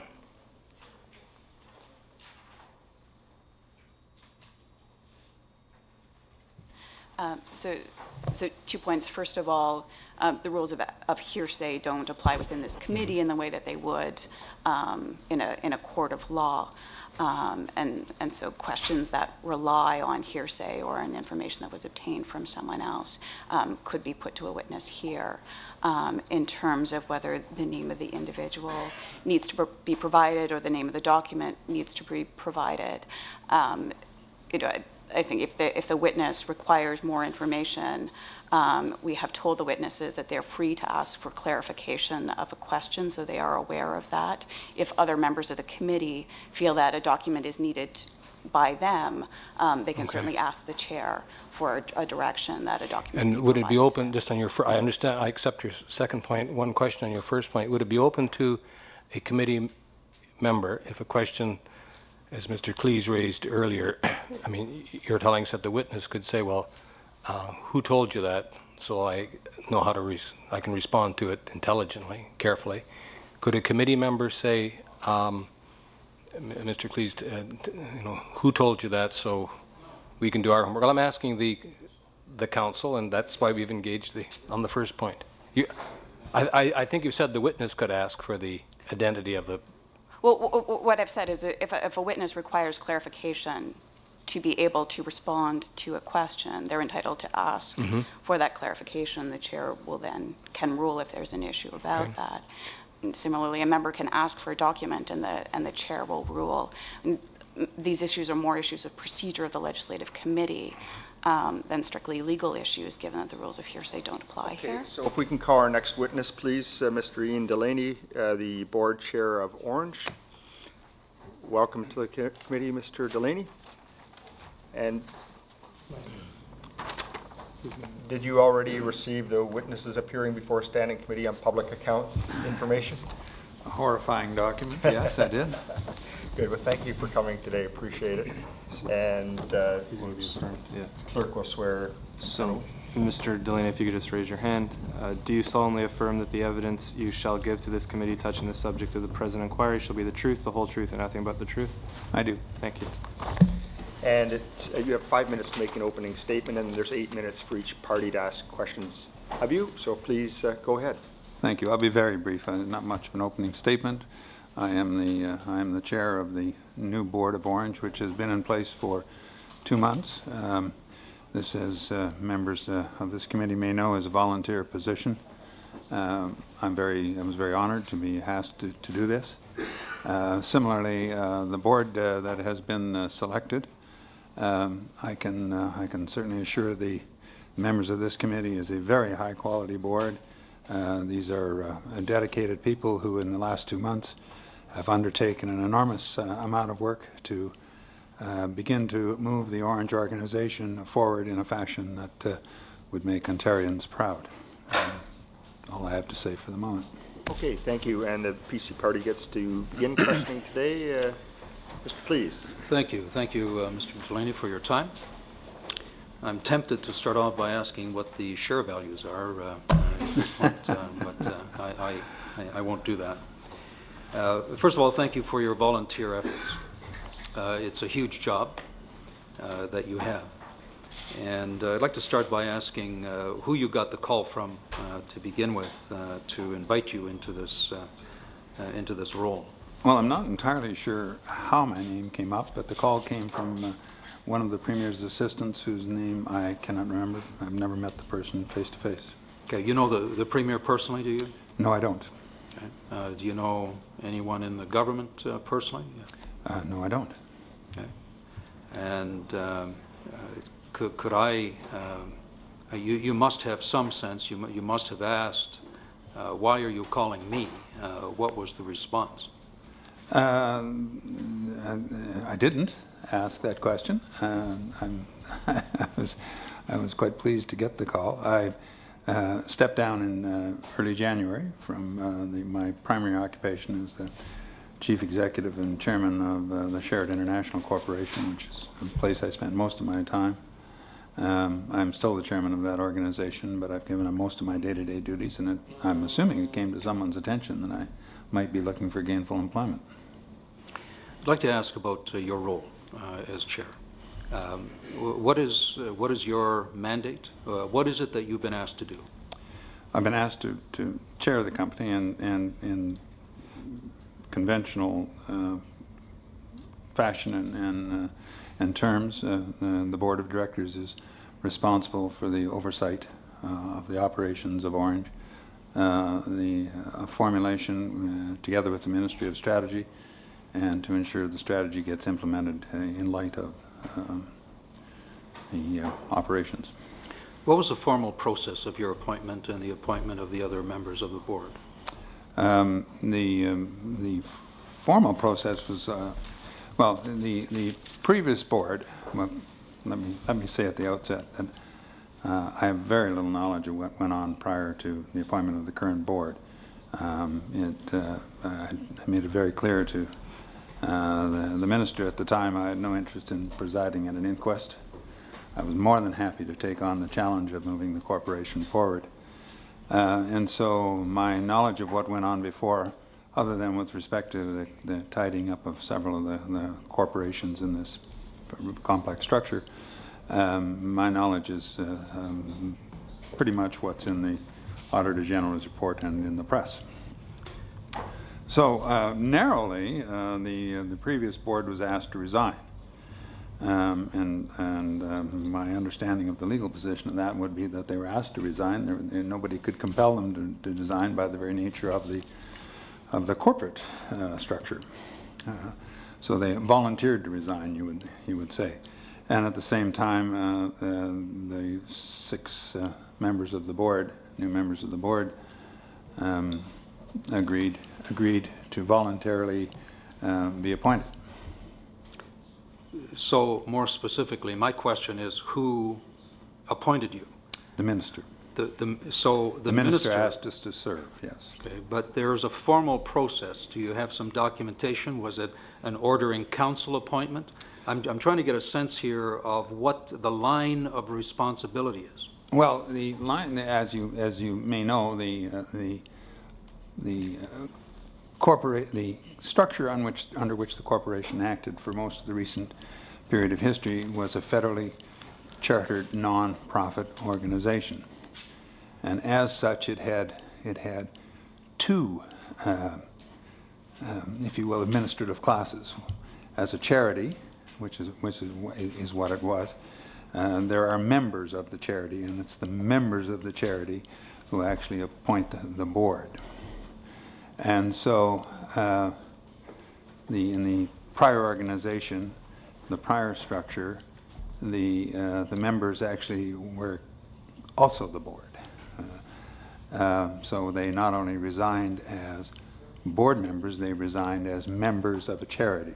And technically, uh, we became the members of the charity um, by the sponsor, which was the minister, uh, and, and then from that we became the board. Now that So- structure, sorry, I- I Just for clarification, you- you're saying by the minister as the sponsor. yes, it's a stakeholder, if you will. I, I, I don't understand. The previous structure, I understand, or I think I do. Uh, The members appointed themselves Yes, as directors. as directors, and they volunteered to resign. Yes. That structure is still there, the corporate structure. It's slightly changed now, but Okay. Now they're resigned, and you're saying that the minister appointed you as members.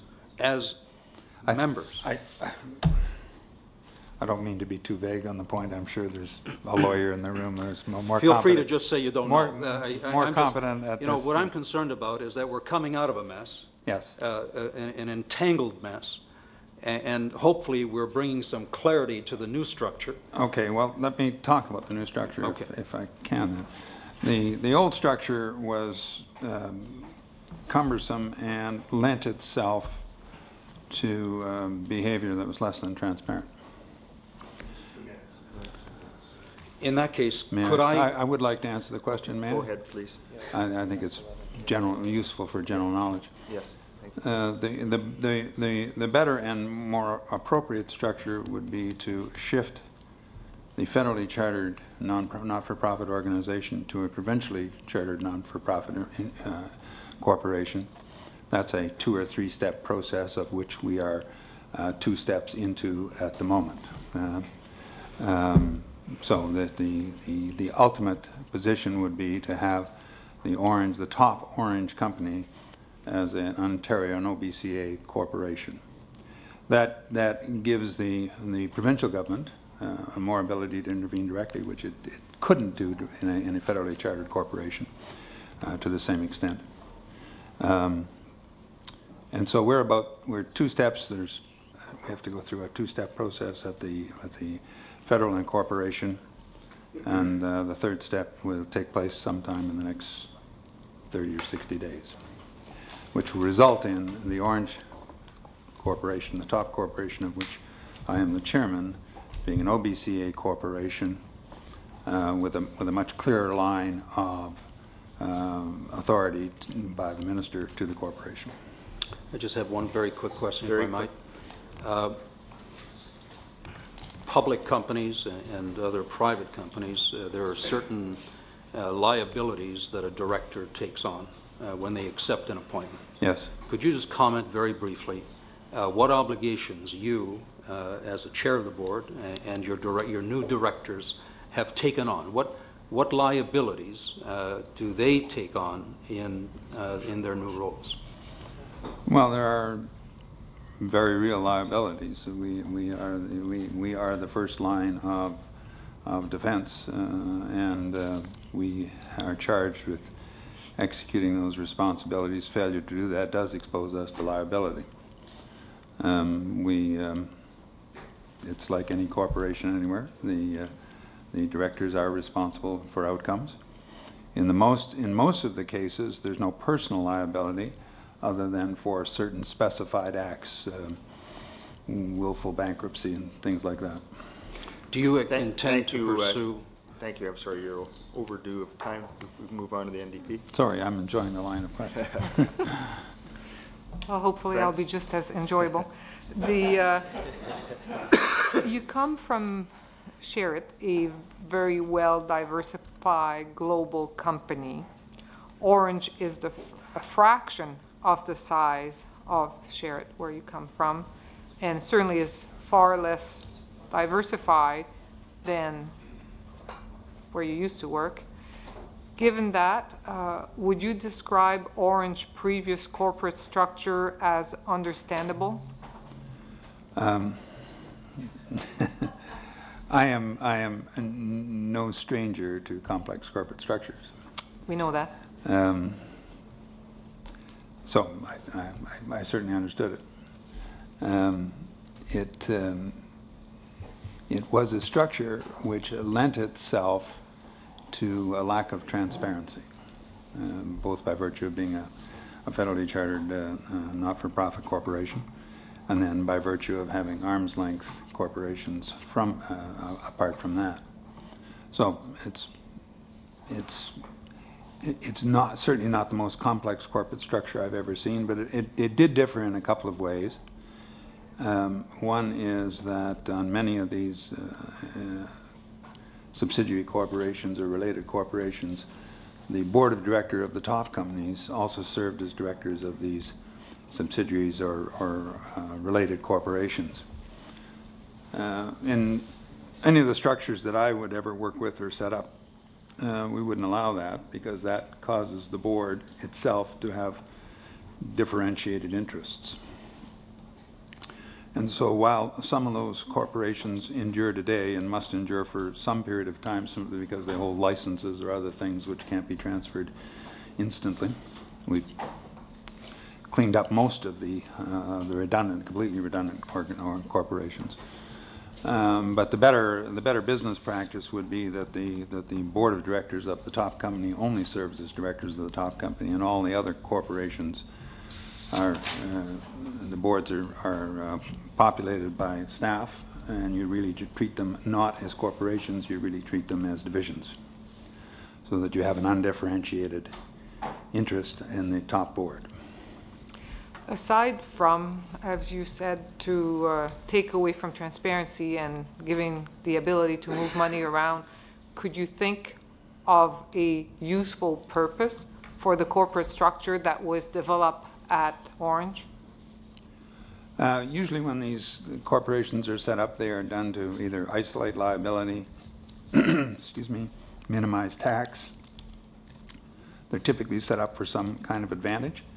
Uh, um, I, I think the, uh, I don't know, I I wasn't there, but it, uh, it- splitting them into the, the nomenclature that's evolved is the for-profit and the not-for-profit. Um, Splitting them into the for-profit and not-for-profit clearly was, was a, a, a business intent to, to conduct a business uh, away from the um, principal um, federally chartered corporation. So you see nothing else. Would you recommend some kind of a modified structure like this for Ornge right now? No, Is not there right any now. purpose No, that no, I this could serve? No.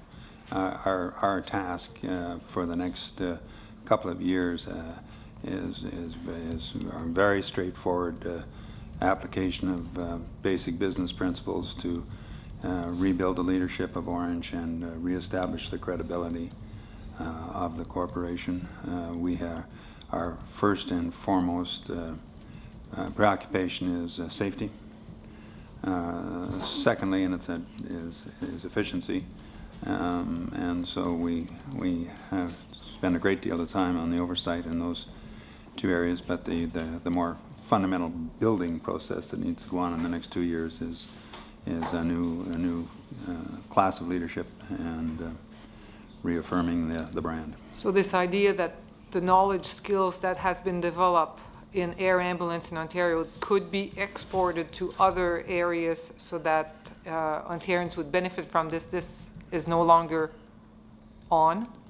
Uh, In the short term, I don't believe it is, because in the short term, I don't think we have the credibility. And have you ever contributed to a political party?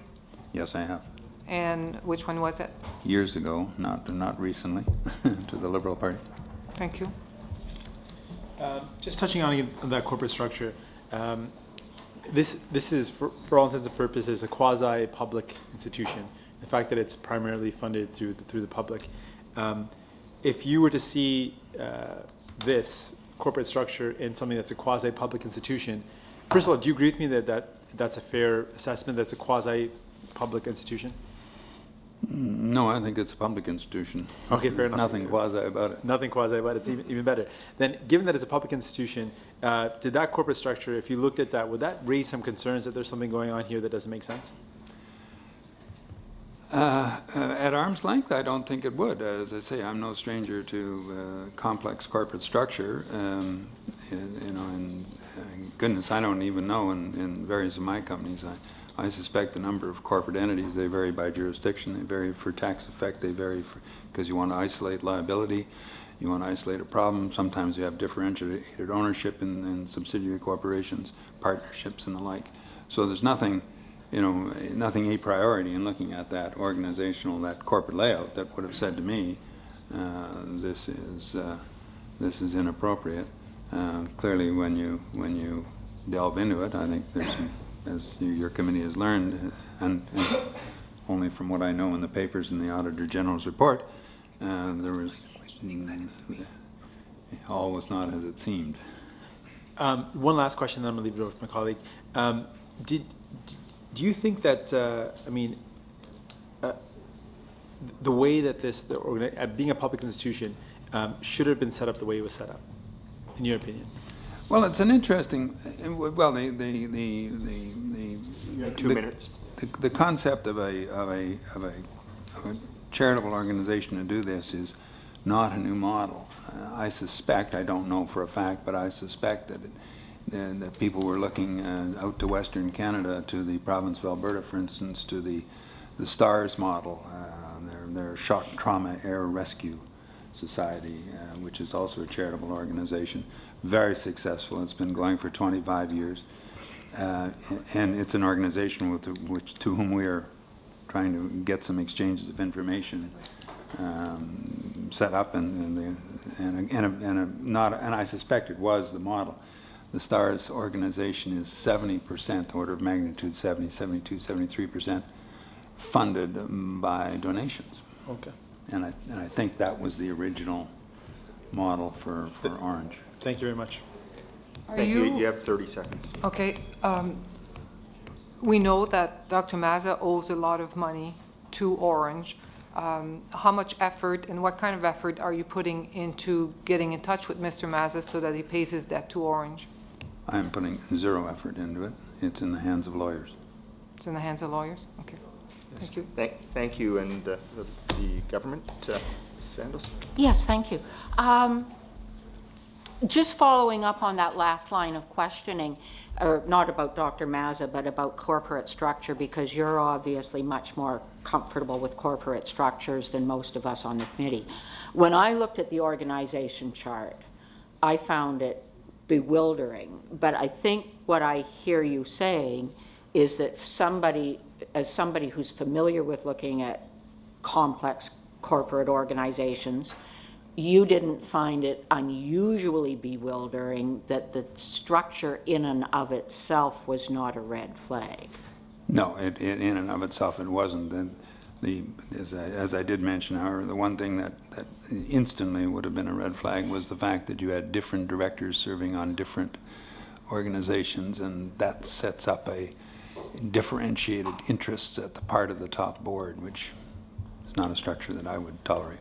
Okay, but, but just looking at the Looking at org the corporate chart structure didn't itself, no, it- necessarily it's send not. one off in, No, no, no, in, it's in a rage? Okay. No. Because I, I think for those of us who aren't used to our charts, we look at that org chart and say, oh my goodness, but that's more a reflection on us than it is on the organization. You can say yes, it's okay, I won't be insulted. Um, Since you, since you were appointed as the chair, um, obviously there's been a number of things that have happened, but two of the significant things is, there is, there has been a new performance agreement signed, there has been new legislation tabled, uh, and I'm sure you're quite familiar with the new legislation. How do those two things change the relationship between the ministry and Ornge? Well, it gives the, uh, it gives the ministry much, the minister and the ministry um, much more authority to intervene in the, in the event that they, they are uncomfortable with outcomes.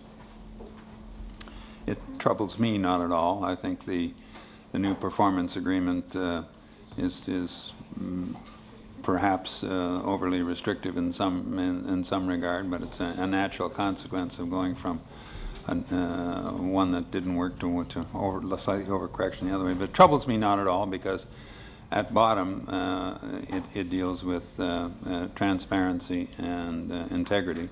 And um, I can assure you, having worked with our, with our board and from my own standards and the standards that we've agreed to adopt as a board and then the natural inclination of the other board members, that, uh, and that our, our own particular standards would transcend anything the ministry might want.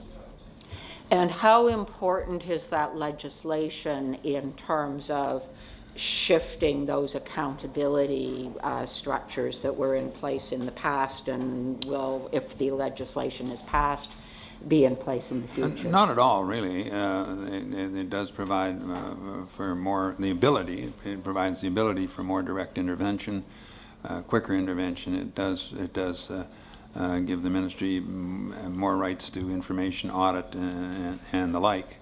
Um, But uh, that uh, is not in any way at odds with the, um, with the operation, the basic operation of the business, and, and uh, I don't anticipate it's going to be in any way uh, a drag on the, on, on on our board, simply because our board has higher standards in that performance agreement. So, so from the point of view of the operation of Ornge, as currently structured or as currently evolving, it gives you the flexibility to be an excellent ambulance service. It gives the ministry the opportunity to have the accountability that, if needed, and I'm not accusing you of in any way uh, attracting the need, but where anything to, uh, in the future to go off the rails, it gives the ministry additional um, opportunities to step in. It does, um, but, uh, and I've, none of that is troubling to me in by way of operation. There's a, a modest uh, increase in expense in terms of reporting and monitoring, um, but um, in the main, it, uh, it doesn't have, uh, it- it's certainly not a drag on, on what our board considers to be our, our challenge and our opportunity, frankly. You made reference to having uh, relatively little interaction with the, the previous um, problems at Ornge. But I'm wondering if in uh, your role as board chair, since you've been there, whether you've seen any indicators that the previous management at Ornge had deliberately misled, deliberately provided misleading information to the minister or the ministry. I, I- don't. I'm, I'm being intentionally obtuse uh, on these points. Um, It's just uh, others, I I think, the- I think that at the present time, if there is a drag on management, I think we've got five sets of auditors in there looking at different things. Um, It's, it's, it makes a, makes the current operation uh, a little tedious. Um, but I have no interaction with those auditors, and, and other than reading the Auditor General's report, I've, I've, I have no, no particular knowledge. I, I must say, I must say that, and, and so to, to the extent that you, you stopped the problems, the problems have been stopped. The, the corporate structure has been uh, clarified, uh, redundant corporations put them into bankruptcy, um, management which uh, uh, were found to be wanting have been uh, sent away. Um, and so our uh, our immediate our immediate priorities are new leadership and getting a new leadership. Always, always, always subordinate to the safety factor. Um, and, but I must say we've got good material to work with. Uh, the um, our board has, is is completely engaged. Uh, many of our board members have traveled as far afield as Sudbury and, and Thunder Bay uh, to get right down on the ground and look at look at issues and talk to people. I myself have talked to pilots and paramedics from Toronto, Timmins, and, and Thunder Bay, and over the course and be, before the passage of many more months, I think our entire board will have been to all our bases for a, uh, an on the ground. Uh, session with with frontline people. The frontline people are marvelous. They are dedicated. You have a minute and a half. I would tell you, the frontline people, we have absolutely no concerns at all about the dedication, professionalism of our frontline people, our pilots, our mechanics, our our, um, our critical care, our advanced care uh, people. They are they are all committed and they are all terrific. Uh, we have the benefit of of uh, one of the most modern fleet of aircraft in the world, uh, um, and and all of the all of the the questions and issues associated with the Pilatus aircraft and the AW139. This is something I, I, I do know. Uh, I do have a little specific knowledge, and these are very successful aircraft and. In, a, in, a, in the most modern aircraft, the most modern fleet of its kind, and the largest fleet of its kind anywhere on the, anywhere on the planet, and so we got we have real material to work with. Um, uh, I, I don't foresee any issue at all in reestablishing the credibility. It's very straightforward, not simple, but it is straightforward, what needs to be done. Um, and, uh, and our board is just committed to doing that. Thank you very much for, uh, for uh, your presentation, and thank you very much for, for coming back this afternoon. We appreciate that, you rearranging your schedule. I'm available at your pleasure. Th- Thank you very much, very much appreciated. that Thank you. came in, Mr. Delaney. Our last presenter today is uh, Kathy Warden, Chief of Staff of the Ministry of Economic Development and Innovation. Welcome. Thank you.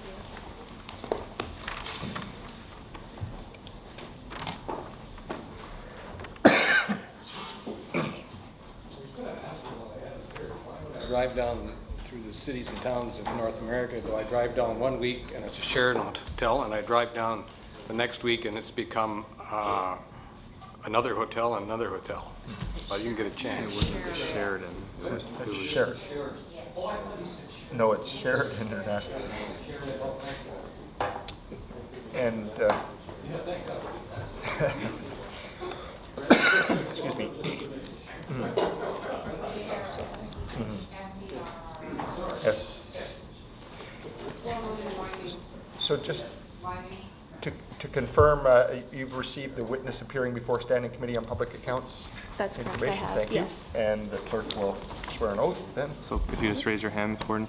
Uh, Do you solemnly affirm that the evidence you shall give to this committee touching the subject of the present inquiry shall be the truth, the whole truth, and nothing but the truth? I do. Thank you. thank you. And the uh, NDP gets to go first this time? I do Oh, have a sorry, statement. you have a five-minute statement. Thank And then the NDP will go first. Thank you. Good afternoon, uh, Mr. Chair and members of the Public Accounts Committee. I would like to provide a brief opening statement, and then I would be happy to answer any questions you may have. My name is Kathy Warden, and I currently hold the position of Chief of Staff to the Minister of Economic Development and Innovation. From April 2010 until November 2011, approximately 19 months, I was honored to work for the Premier of Ontario as a policy advisor. In my role as policy advisor, I had several areas of policy responsibility transportation and transit, infrastructure, economic development and trade, research and innovation, and intergovernmental affairs. My duties as a policy advisor included providing the Premier with strategic policy advice regarding the policy areas for which I was responsible, liaising with other offices here at Queen's Park, outside stakeholders, and different levels of government, and on occasion I was required to travel with the Premier. I reported to the Premier's principal secretary and on occasion would report to other senior staff, including the Chief of Staff and our Director of Policy. Regarding the January 2011 document from Ornge, I would like to make the following observations. I have no recollection of receiving the January 2011 document from Ornge. I had many areas of policy responsibility while working in the Premier's office, and health policy and Ornge, as an organization, were not part of them. My only association with Ornge and the Ornge document of January 2011 is that I was CC'd on a document that was addressed to the Ministry of Health and did not fall under my areas of responsibility. After seeing my name in the paper several weeks ago regarding the Ornge document, I did a search of my documents and email records. While I have no recollection of receiving the Ornge document, my records show that I sent an email to my colleagues in the Premier's office on January 31st, 2011. The email simply indicates that we had all received the same document. Finally, I had no further contact with anyone on this document. The document was addressed to the Ministry of Health, and the Minister has taken action. I would be happy to answer any questions you have for me. Thank you, and now it's the time for the NDP to ask questions. Friends? All right. Um, You, um, you saw that you were copied on this document. You've now seen everything that has come about with Ornge. Looking back on this document and on the role that you played, why do you figure you were copied? I, I can't speak to the intention of the individuals who wrote that document and who sent it. That's not something that I can speak to. I'm here to speak to the facts that I know and am aware of, and that's not something that I can speak to. You would have to ask the people who sent that document. So you have no idea? Again, I can speak to what I know in terms of I'm asking facts. you your ideas. I understand. I think you're asking me a, a hypothetical question. Uh, and as I stated in my opening statement, health policy and Ornge as an organization were not part of my responsibilities. You're not helping yourself here. I'm asking you, do you have any ideas why you were CC'd on this letter in January? Perhaps, counsel, th- this is the sort of thing that we can seek your advice on, the the appropriateness of that question. Stop the clock or something. No, no. No, she's not one of our, yeah. It's, so it's not a question of the law, so uh, the- you Sure, as a witness can answer what you feel Absolutely. comfortable with, and if you have a question of our counsel, feel free to ask. So I understand the intent of the question. So I, I don't know why I was CC'd. Uh, the only thing I can surmise, and I know that my current Deputy Minister, Wendy Tilford, uh, was here earlier today, and there were some trade missions. I can only surmise that that might be the only reason, but I can't speak to the intent. As I noted in my opening statement, health policy and Ornge as an organization weren't part of my responsibilities. I had had no dealings with Ornge as an organization previously at all. Um, so that was my first interaction, being CC'd on a document that was addressed to the Ministry of Health. Do you know anybody at Ornge? No, I do not. You don't know anybody? Okay. Have you been contacted uh, by anybody from, uh, uh, we'll start with uh, Alfred Apps. Has he ever contacted you regarding the Ornge? No, I have no recollection of any contact from him on Ornge. No? The, uh, have you ever spoken to the Premier about Ornge? I have not. Not since the scandal came out, n- not, never? I have not. Okay, that's all for me. Thank you. Have you had any contact with Alfred Apps in general, just in general terms? No, I, I don't know him. Okay. Um, and at any point in time, were you aware of, of Ornge and its for-profit kind of schema or schemata in terms of corporate organization? I was not. The first instance was when I saw things in the media, and specifically with my name associated with the document. Okay. And in, in the Premier's office, are you aware in general when this issue, uh, the issue of Ornge came up? Uh, no, so I, I would state I'm no longer in the Premier's office. I'm now the Chief of Staff to the Minister of Economic Development and Innovation. And, uh, and no, when I was in the Premier's office for my time there, I had no discussion about Ornge. Okay. Um, So- So, I mean, it's fair to say that when you received that email, you were CC'd, you don't recall it per se. You sent out a letter or an email on January 31st. Correct. And who did you send that, that out to? I sent that to uh, the principal secretary, the Premier's health policy advisor, and the assistant to the principal secretary. Okay. Would you be able to table that, that email, uh, that correspondence? Yes, absolutely. I don't have it here with me today, okay. but absolutely. Okay, yes. certainly. And, um, and, and why did you choose those people to send the email off to? Uh, I'm, I can't, so again, I'll go back. I actually don't recall receiving the document, but if I had to think of my mindset, um, perhaps I looked at who was also on, CC'd on that document, and those would have been my colleagues at the time in the Premier's office that were also included. Um, that's what I can imagine my, my Okay. headspace was. And, and sorry, who was the health policy advisor? Uh, it's an individual named Dan Carbon at the time. Okay. Um, That's fine, thank you. Thank you. Very well. Uh, On to the uh, government. No questions? Okay, very well. And uh, for the uh, opposition, Mr. Ouellette? I see we're getting questions. Um, No. uh, Well, not for this particular, not for this individual, no. Um, um, Did you have any involvement with the trip to the Middle East or the trips that were brought forward in the past? I did not. You did not, so there was no involvement at all, or the- even the, um, the, uh, um, the air show that took place as well? I did not. Okay. Um, Do you have, and I believe uh, you mentioned, um, uh, you mentioned, you mentioned your deputy was here earlier on, any expenses that may have been incurred um, by individuals within the minister's office regarding the trips abroad um, that involved uh, going to the Middle East and that? So we would uh, hope that you might be able to forward us that information. Do you understand I'm what so I'm sorry, asking? no, I didn't understand the question. Okay, uh, the trips that went to the Middle East that the deputy spoke of earlier on, Yes. Um, can we get uh, copies of the expenses of the individuals who are in attendance from your ministry uh, or from the minister's office to be uh, brought forward so that we may be able to review those and the possibility of any actions that may have occurred at that time? Uh, So to the chair and to the member, I can absolutely speak with officials and, um, and endeavor to do that. I have no problem making that request, of course. Um, Have you or any of your uh, staff met with the officials from uh, AgustaWestland?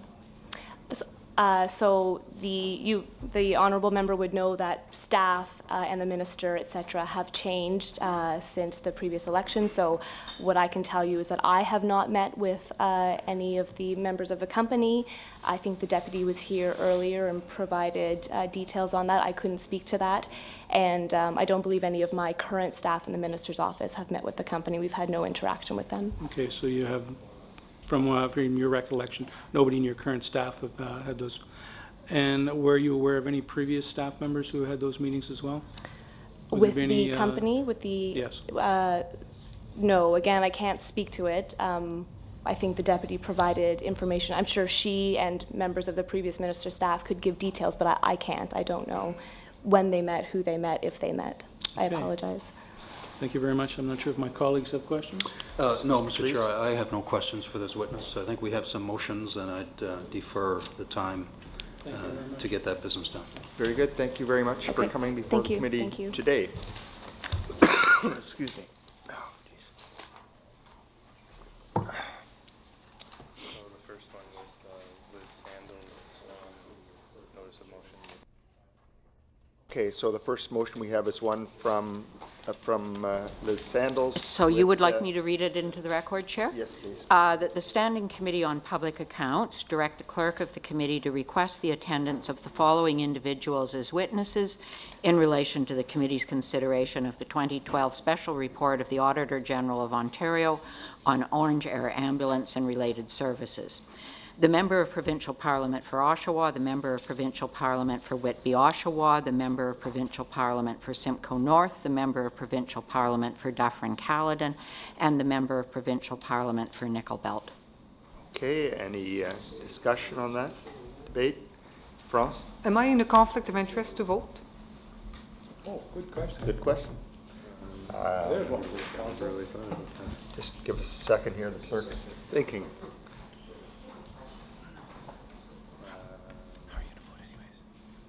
Uh, We'll vote for it.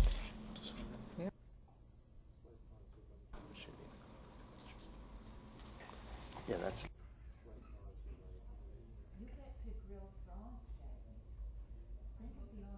Check on it.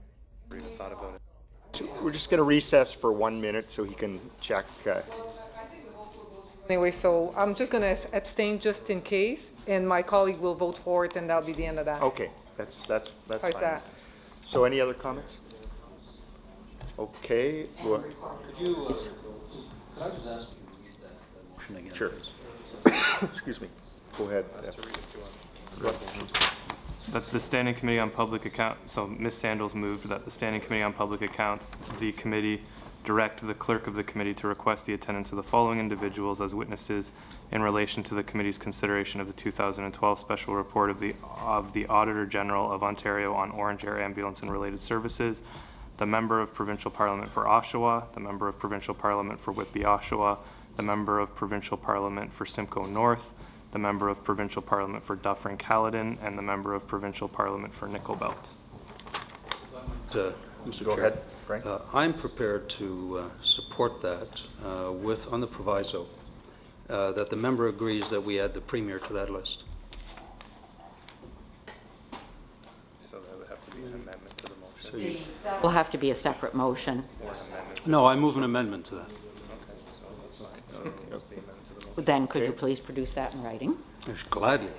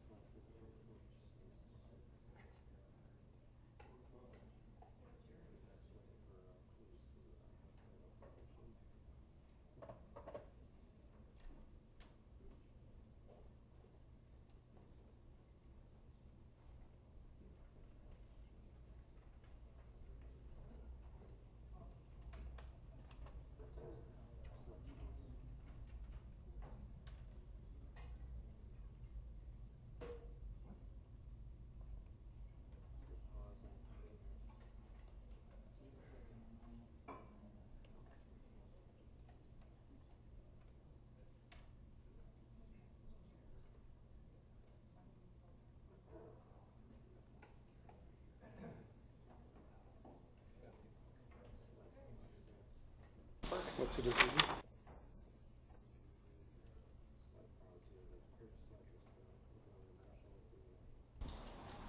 Sure, I'll uh, Read read my record, amendment. please. Yes. Go ahead, Mr. Klees. Uh, I uh, propose the following amendment, uh, that the Premier be added to the list of MPPs to be requested to attend as a witness to the committee hearings. Okay, and we'll have, we'll need to take a, uh, a a short recess, two to five minutes to get this uh, printed. Okay. Please.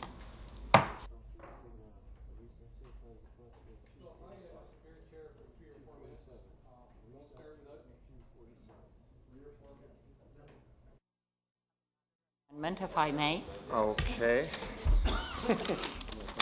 Actually, I think it's my motion. Mr. Zimmer has an amendment. I misspoke. Oh. Yeah, Mr. Zimmer has decided to make an amendment. So, amendment. just, uh, I've got to speak with my subcommittee member.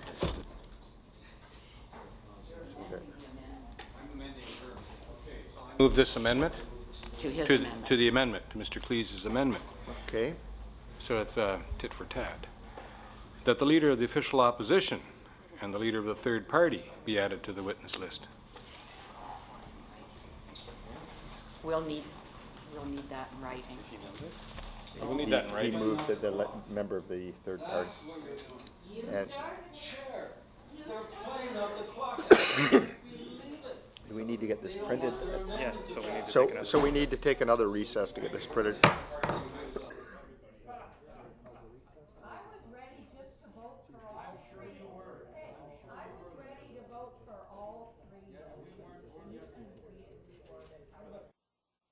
on the record, and uh, we are now adjourned.